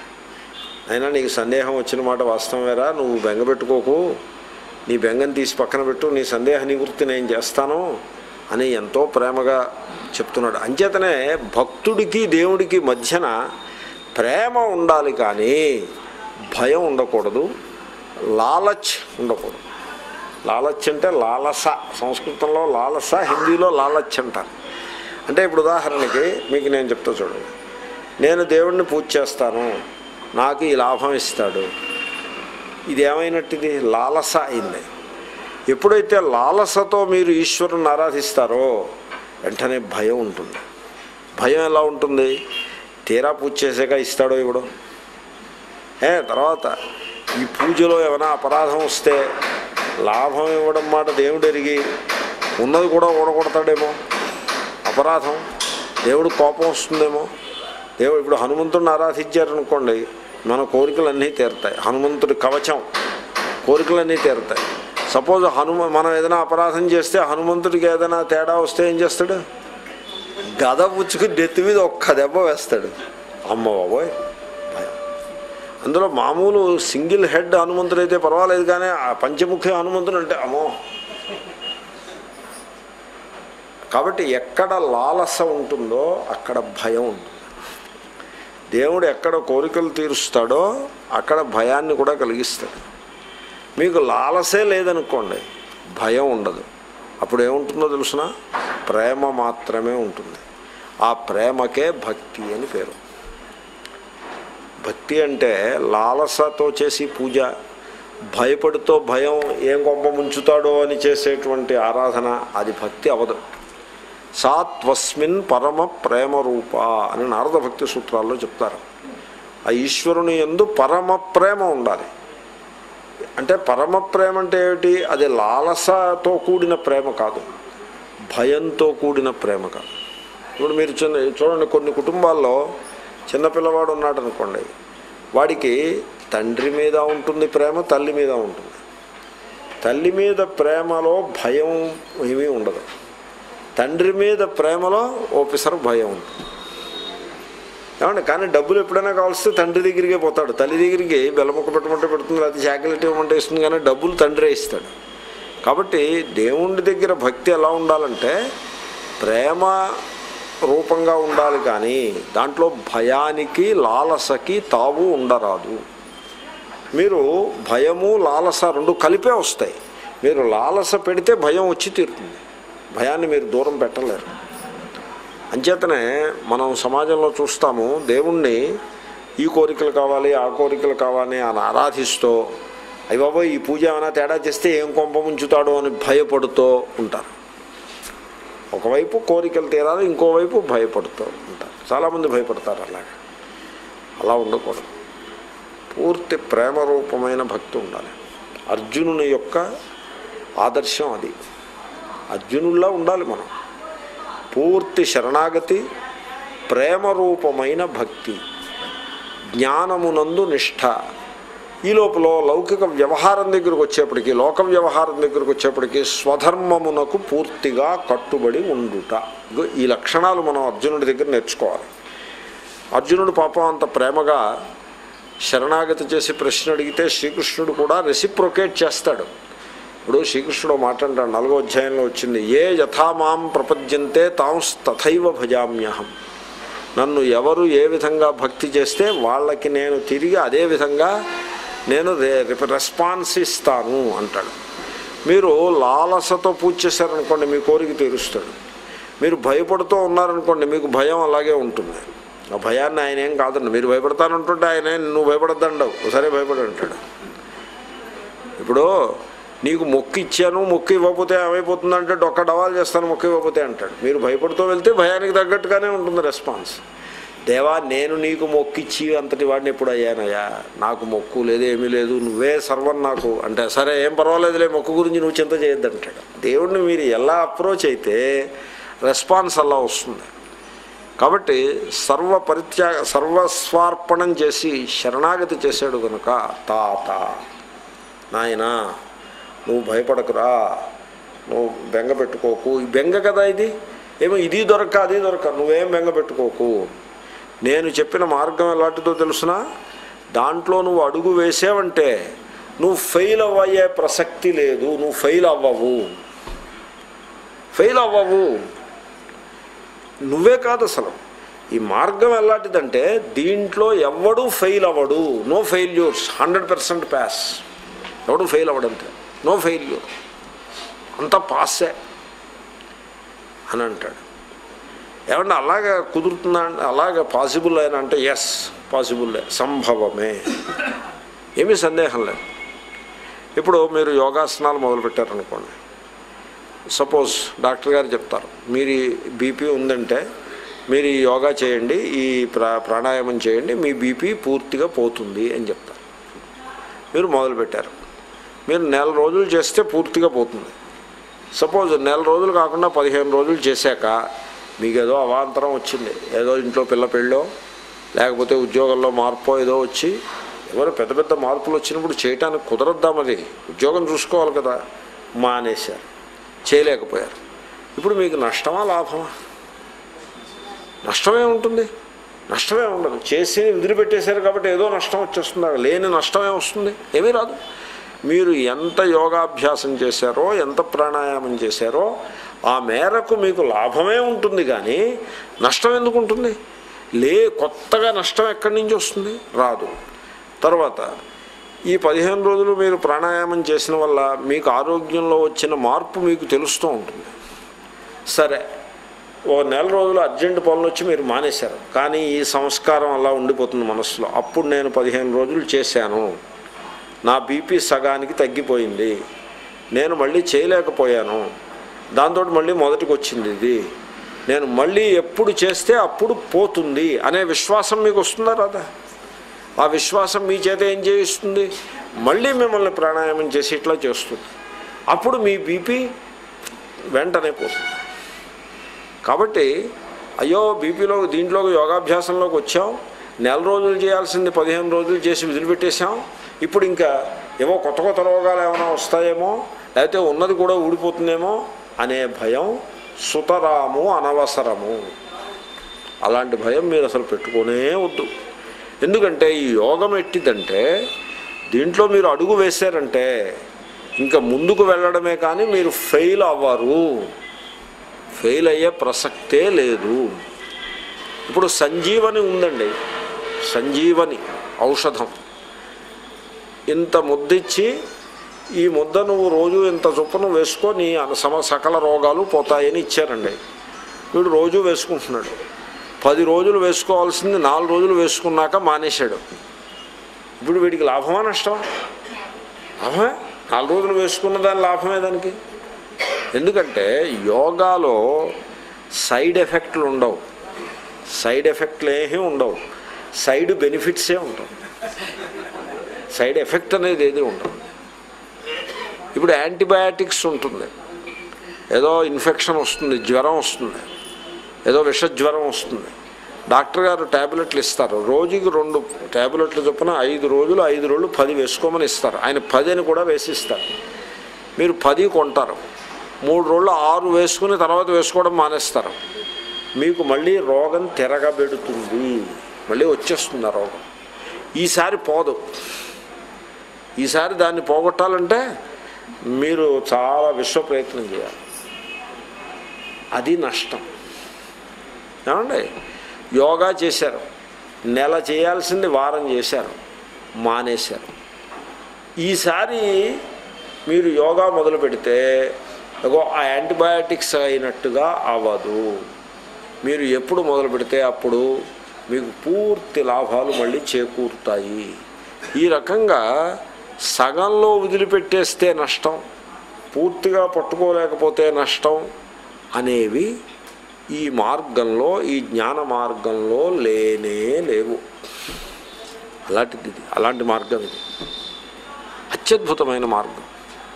కాబట్టి హే అర్జున పార్థ పార్థ అంటే పృథ యొక్క కు- కుమారుడు. పృథ అంటే ఆయన మేనత్త ఆయన తండ్రి వసుదేవుడు. వసుదేవుని చెల్లెలు పృథ. అంతేనా? మేనత్తేనా? అలా గుర్తు నాకు. ఈ బంధాలు ఈ సంబంధాలన్నీ ఎక్కడ గుర్తుంటాయి ఏదో గుర్తున్నప్పుడు గుర్తుంటాయి.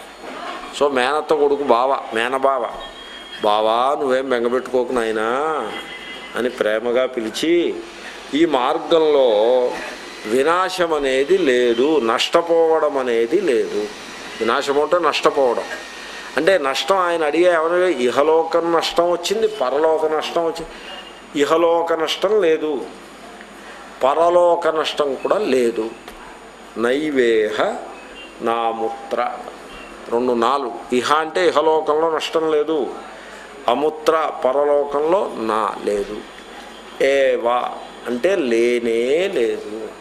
సుతరాము లేదు. హైహి నహి. సో నష్టం అనేది లేనే లేదు.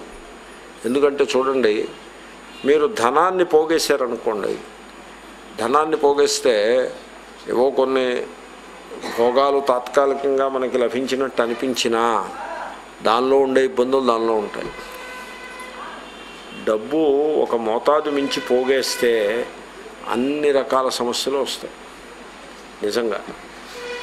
అంచేతనే ధనము ఎక్కువగా పోగేయటము అది కళ్యాణకరమా కాదా అంటే కాదు.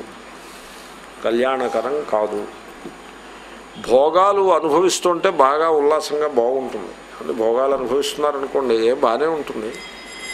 కానీ అది కళ్యాణకరమా అంటే కానే కాదు. భోగే రోగ భయం విత్తే నృపాలాద్భయం అని ఇది భర్తృహరిశ్రం మీరు డబ్బు పోగేస్తుంటే వెంటనే ట్యాక్స్ ఆఫీసర్ వల్ల భయం ఉంటుంది. అందుకోసం డబ్బు బాగా పోగేస్తున్నవాడు ఏం చేయాలి? ఓ ట్యాక్స్ కన్సల్టెంట్ని పెట్టుకోవాలి. తర్వాత ఇన్కమ్ ట్యాక్స్ ఆఫీస్లో తెలుసున్న వాళ్ళు ఎవరైనా ఉంటే వాళ్ళని కొంత మచ్చిక చేసుకోవాలి. ఏదో చేసి ఇలాంటివి ఏవో చేస్తూ ఉండాలి. సడన్గా ఇన్కమ్ ట్యాక్స్ ఆఫీస్ ఆఫీస్లో పనిచేస్తున్నాడు ఆయన క్లర్కే అవ్వచ్చు అక్కడ. అయ్యో రండి సార్ అని చే లేచి నిలబడి దండం పెట్టి ఏదో చేయాలి ఆయన ఎందుకంటే ఏమో దిక్కుమాలని ఇన్కమ్ ట్యాక్స్ వాళ్ళని నమ్మడానికి వీల్లేదు. విత్తేను రూపాలాద్ భయం. అలా కాకుండా మీరు ఏమీ డబ్బులు పోగేయడాలు ఇవేం లేవు. అలాగా సింపుల్గా ఉన్నారనుకోండి ఇన్కమ్ ట్యాక్స్ ఆఫీసర్ వచ్చాడు అనుకోండి రావయా నువ్వు కూడా కూర్చొని నాతో పాటు రెండు మెతుకులు దీని పోని వాటిని పంపించవచ్చు. దీంట్లో భయపడాల్సింది కాబట్టి ఊరికే అవసరమైన దానికంటే డబ్బు పోగేయటం అది కళ్యాణం కాదు. భోగాలు అధికంగా అనుభవిస్తూ ఉండడం కళ్యాణం కాదు. ఇంకా కర్మ ఉంది. ఏమంటే అప్పుడప్పుడు నిత్యకర్మలు నైమిత్తిక కర్మలు చేసుకోవాలి. మన ధర్మాన్ని మనం అనుష్ఠించాలి మన కర్తవ్యాలను మనం చేసుకోవాలి.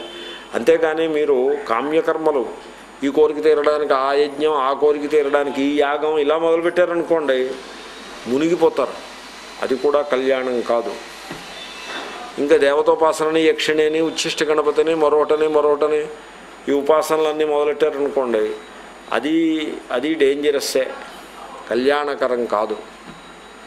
ఏమన్నా మరి ఇంకా కళ్యాణకరం ఏమిటండి అంటే చూడు భగవద్గీత చదువుకో. నిత్య నైమిత్తిక కర్మల్ని చేసుకో. భగవద్గీతలో చెప్పినటువంటి వాల్యూస్ ఏవైతే ఉన్నాయో అవి జీవితంలో అనుభవానికి తెచ్చుకునే ప్రయత్నం చేయి. శాస్త్రాన్ని శ్రవణం మననం చేయి. విధులు పెట్టకుండా ఖాళీ ఉన్నప్పుడు సత్సంగం అని కాదు. విధులు పెట్టకుండా సత్సంగం. మిగతా పనులు ఖాళీ ఉన్నప్పుడు చేసుకోవాలి. భోజనం రోజు చేస్తున్నావా లేదా? లేకపోతే గెస్ట్లు వచ్చారని భోజనం మానేస్తారా? అలాగే గెస్ట్లు వచ్చారని క్లాస్ మానేయకూడదు. భోజనం మానేస్తేనే క్లాస్ మానేయాలి అయితే మానేయడానికి వీలు. అది రూలు. సో శాస్త్రాన్ని శ్రవణం మననం సత్సంగం నిరంతరంగా చేసుకుని రోజు ధ్యానం నువ్వు చేస్తూ ఉండు. ఇది కళ్యాణ మార్గము. దీన్ని మించిన కళ్యాణం మరొకటి లేదు. కళ్యాణం అంటే టికెట్లు తీయడాలు కోయడాలు కాదు. కళ్యాణం టికెట్లు లంచాలు ఇచ్చి కొనేయడాలు అలాగా. అదేమీ కాదు.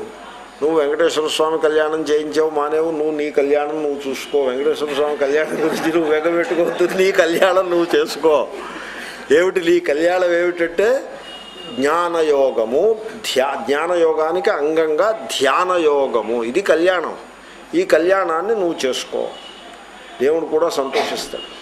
ఒక ఆయన నా దగ్గరికి వచ్చారు హనుమంతునికి కళ్యాణం చేయిస్తాను హనుమంతుడికి కళ్యాణం ఎందుకయా నువ్వు హనుమంతుడిని ప్రార్థించి రాముడికి కళ్యాణం చేయించు. హనుమంతుడు కూడా సంతోషిస్తాడు. హనుమంతుడి దగ్గరికి వెళ్ళి ఎవయా హనుమా నేను నీ భక్తుడిని నీకు కళ్యాణం చేయించాలనుకుంటున్నాను. అభిమే నాకొద్దు. నాకెందుకు కళ్యాణం? సీ మా అమ్మ సీతమ్మ ఉన్నది. రాముడు ఉన్నాడు. అయ్యా వాళ్ళిద్దరికీ చేయించు కళ్యాణం అంటాడు ఆయన. ఏమంటే రాముడి దగ్గరికి వెళ్ళి హే రామా నీకు నేను కళ్యాణం చేద్దాం నాకు నువ్వు కళ్యాణం ఏమిట్రా? వెర్రి త- వెర్రి తండ్రి. నీకు కళ్యాణం నువ్వు చేసుకో. అంటే పెళ్ళి చేసుకోమని కాదు ధ్యాన యోగాన్ని అనుష్ఠించు. కాబట్టి దేవుడికి కళ్యాణాలకి ఏమీ కంగారు లేదు. చేయించ చేయించండి తప్పేం లేదు. Go ahead and do it కానీ కళ్యాణకృత్ ఆత్మ నిష్టలో ఉండి మనం ధ్యానాన్ని రోజు చేస్తూ ఉండాలి. అది యథార్థమైన కళ్యాణం. ఈ కళ్యాణాన్ని ఎవడైతే చేస్తాడో దుర్గతిం నహి గచ్చతి. వాడు ఎప్పుడూ దుర్గతిని పొందడు. అంటే వాడు ఇది జారిపోయి అది జారిపోయి ఇదైపోతాడు అదైపోతాడనే బెంగ నువ్వు ఏమీ పెట్టుకోకు. ఇంత భరోసా అసలు మీకు శాస్త్రంలో ఎక్కడా లేదు. కశ్చిత్ వాడు ఎవడైనా సరే ఏ కులం వాడైనా ఏ వర్గం వాడైనా ఏ ప్రాంతం వాడైనా ఏ వర్ణం వాడైనా కశ్చిత్ హూసోయవర్ స్వామి చిన్మయానంద్ అలా ట్రాన్స్లేట్ చేసేవారు. కశ్చిత్ అంటే హూసోయవర్ అంటే అర్థం ఏంటి? కోయి భీ హో ఎవడైనా అవ్వచ్చు. దుర్గతిని నగచ్చతి చెడిపోవడం అనే మాటే లేదు అసలు. ఆ మార్గం అలాంటి మార్గం. దీంట్లో జారిపోవటము అనే ప్రసక్తే లేదు. అని ఒక పెద్ద భరోసా ఇచ్చి ఈ శ్లోకం చెప్పారు. వానువాచ పార్థనైవేహ నాముత్ర వినాశస్తస్య విద్యతే. నహి కళ్యాణకృత్ కశ్చిత్ దుర్గతిం తాత గచ్చతి. ఇక్కడ అర్జునుని ప్రశ్న ఒక్కసారి మీకు గుర్తు చేస్తాను. ఆ ప్రశ్న యొక్క సారము లోకంలో కర్మ మార్గం ఒకటి ఉన్నది. అంటే కర్మలను చేస్తారు. వేదము చేత విధించబడిన కర్మలను చేస్తారు. ఆ కర్మలు అంటే అనేక రకాలుగా ఉంటాయి. యజ్ఞము యాగము ఇలాంటి కర్మలు ఉంటాయి. తర్వాత దాన ధర్మాలు ఉంటాయి. దానము తర్వాత తీర్థయాత్రలు ఇవన్నీ ఉంటాయి. ఇటువంటి కర్మలను చేస్తే నదీ స్నానము అలా చేస్తే ఏమవుతుంది? ఈ కర్మల వల్ల మనిషికి పుణ్యం లభిస్తుంది. ఆ పుణ్యం వల్ల ఇహలోకంలో అభ్యుదయము దేహము త్యాగం చేసిన తరువాత పరలోకంలో స్వర్గాది సుఖ లోక ప్రాప్తి పుణ్యలోక ప్రాప్తి అదొక మార్గం ఉంది లోకంలో కర్మ మార్గము అనేది ఉంది. ఇప్పుడు ఇక్కడ మనం ఆరో అధ్యాయంలో మనం నేర్చుకున్నది ఏమిటంటే ధ్యాన యోగము. అది మనం మనకి బోధించింది.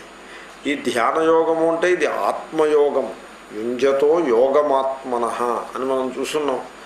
ఆత్మయోగము అంటే ఆ మనస్సు యొక్క సంచారం ఏదైతే ఉంటుందో దీనిని నిగ్రహించి నిరోధించి ఆ మనస్సు తన స్వరూపమైన ఆ చైతన్యమునందు ఆత్మ చైతన్యమునందు విలీనమై ఉండుట.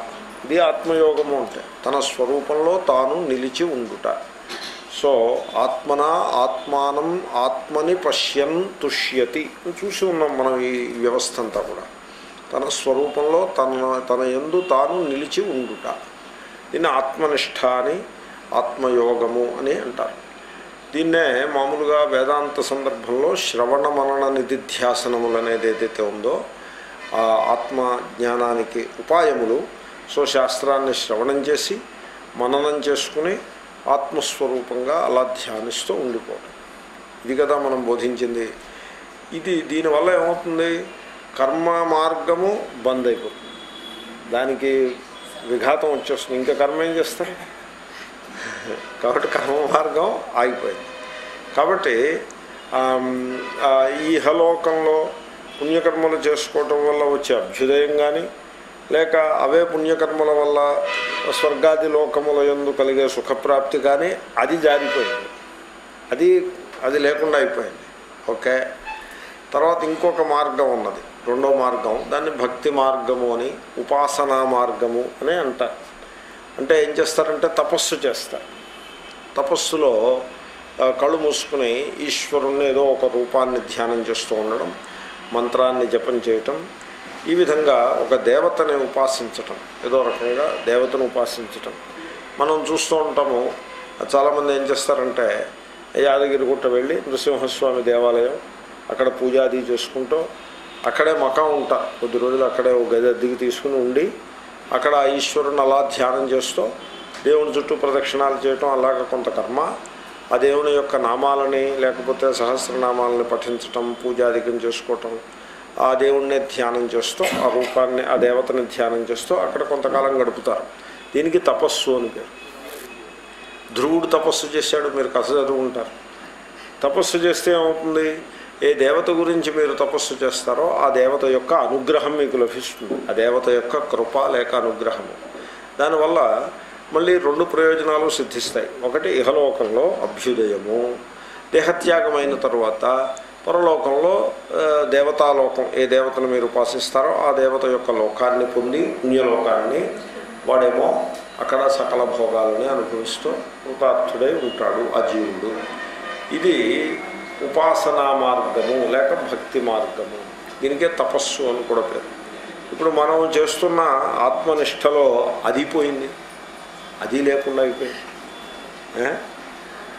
ఈ ఆత్మనిష్ట కుదిరి వీడికి ఆత్మ సాక్షాత్కారం కలిగి జీవన్ముక్తుడైపోతే ఇంకా సమస్య లేదు. అంతా వండర్ఫుల్ అంతా లాభమే. కానీ అంటే అర్జునుని ప్రశ్న ఆత్మనిష్ట ఏ కారణం చేతనైనా చేతికి దొరకలేదనుకోండి. దొరకకపోతే అప్పుడు వీడి పరిస్థితి ఏమిటి? ఇటు కర్మ మార్గం చేజారిపోయింది ఉపాసనా మార్గం చేజారిపోయింది. ఎలాగంటే ఒకడేమో ఓ కొమ్మని పట్టుకు వెళ్ళాడుతున్నాడు.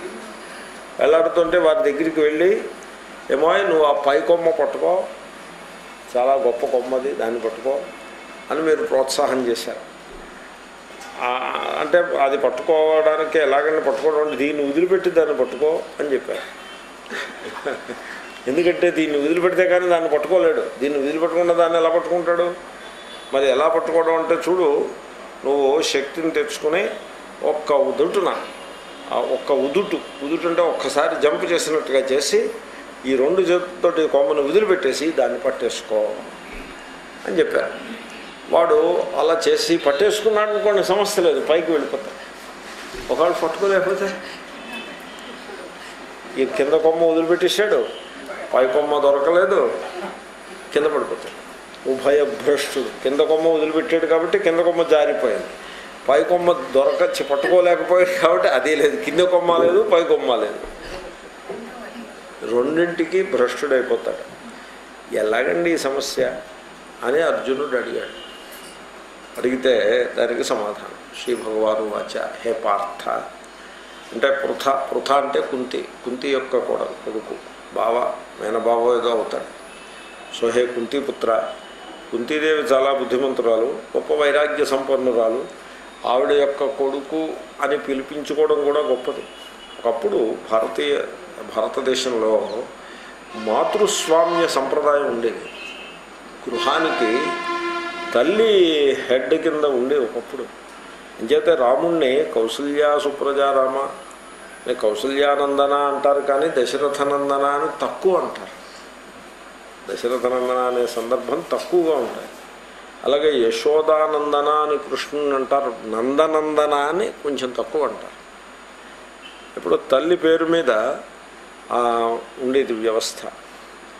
కానీ తర్వాత కొన్ని సంద కొన్ని సందర్భాల్లో తండ్రి పేరు మీదకి మారింది. ఇప్పుడు తమిళనాడు కనుక మీరు వెళ్ళినట్లయితే అక్కడ తండ్రి పేరు ఉంటుంది. వీడి పేరు ఉంటుంది వీడి వీడి పేరు పక్కన తండ్రి పేరు కూడా ఉంది సపోజ్ వీడి పేరు రామారావు అనుకోండి తండ్రి పేరు సుబ్బారావు అనుకోండి కాబట్టి మొత్తం పేరు ఎలా ఉంటుంది? రామారావు సుబ్బారావు అలా ఉంటుంది. అంటే తండ్రి పేరు కూడా అటాచ్ చేస్తారు.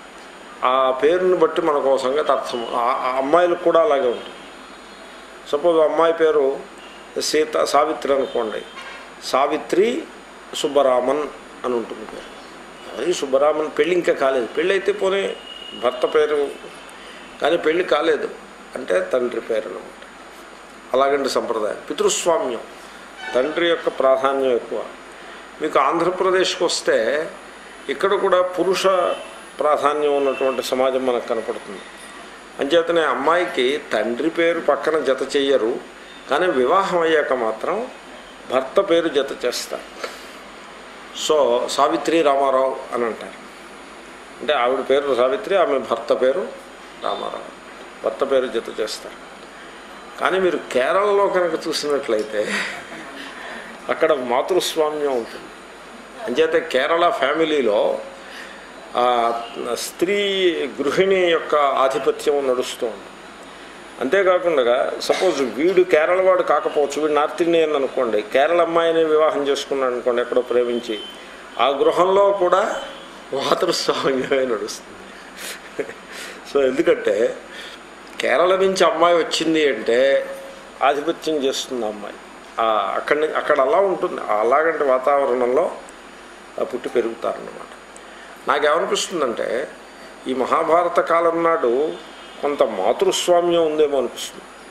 అలాగే ఎందుకంటే రాముణ్ణి కూడా ఎప్పుడు చూసినా కౌసల్యాతనయ అంటారు సుమిత్రాతనయ అని లక్ష్మణుని అంటారు ఎప్పుడు కూడా తల్లి పేరుతోటి కొడుకుని స్మరించటమే ఉంది కానీ తండ్రి పేరుతో స్మరించి చాలా తక్కువ. ఆఖరికి విశ్వామిత్రుడు కూడా రాముణ్ణి నిద్రలేపుతాడు.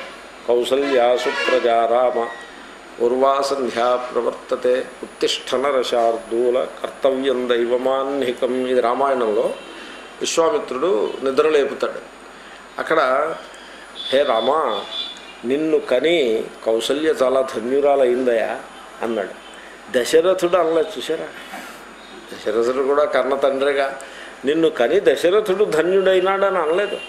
నిన్ను కని కౌసల్య ధన్యురాలైంది అని అన్నాడు ఆయన అలా ఎందుకన్నాడు అంటే దానికి రెండు కారణాలు చెప్పచ్చు. ఒకటి తల్లి పేరుతోటి స్మరించటము అనే సంప్రదాయం అక్కడ మాతృ మాతృస్థానానికి పెద్ద మర్యాద ఇవ్వటం ఆ కాలంలో ఉండేది. తర్వాత తగ్గింది కానీ అప్పుడు ఉండేది. అదొక సమాధానం. రెండవది అక్కడ ఆ సందర్భంలో రాముణ్ణి నాతో పంపవయా అంటే దశరథుడు చాలా గడబిడ చేశాడు. కళ్ళు తిరిగి పడిపోయాడు.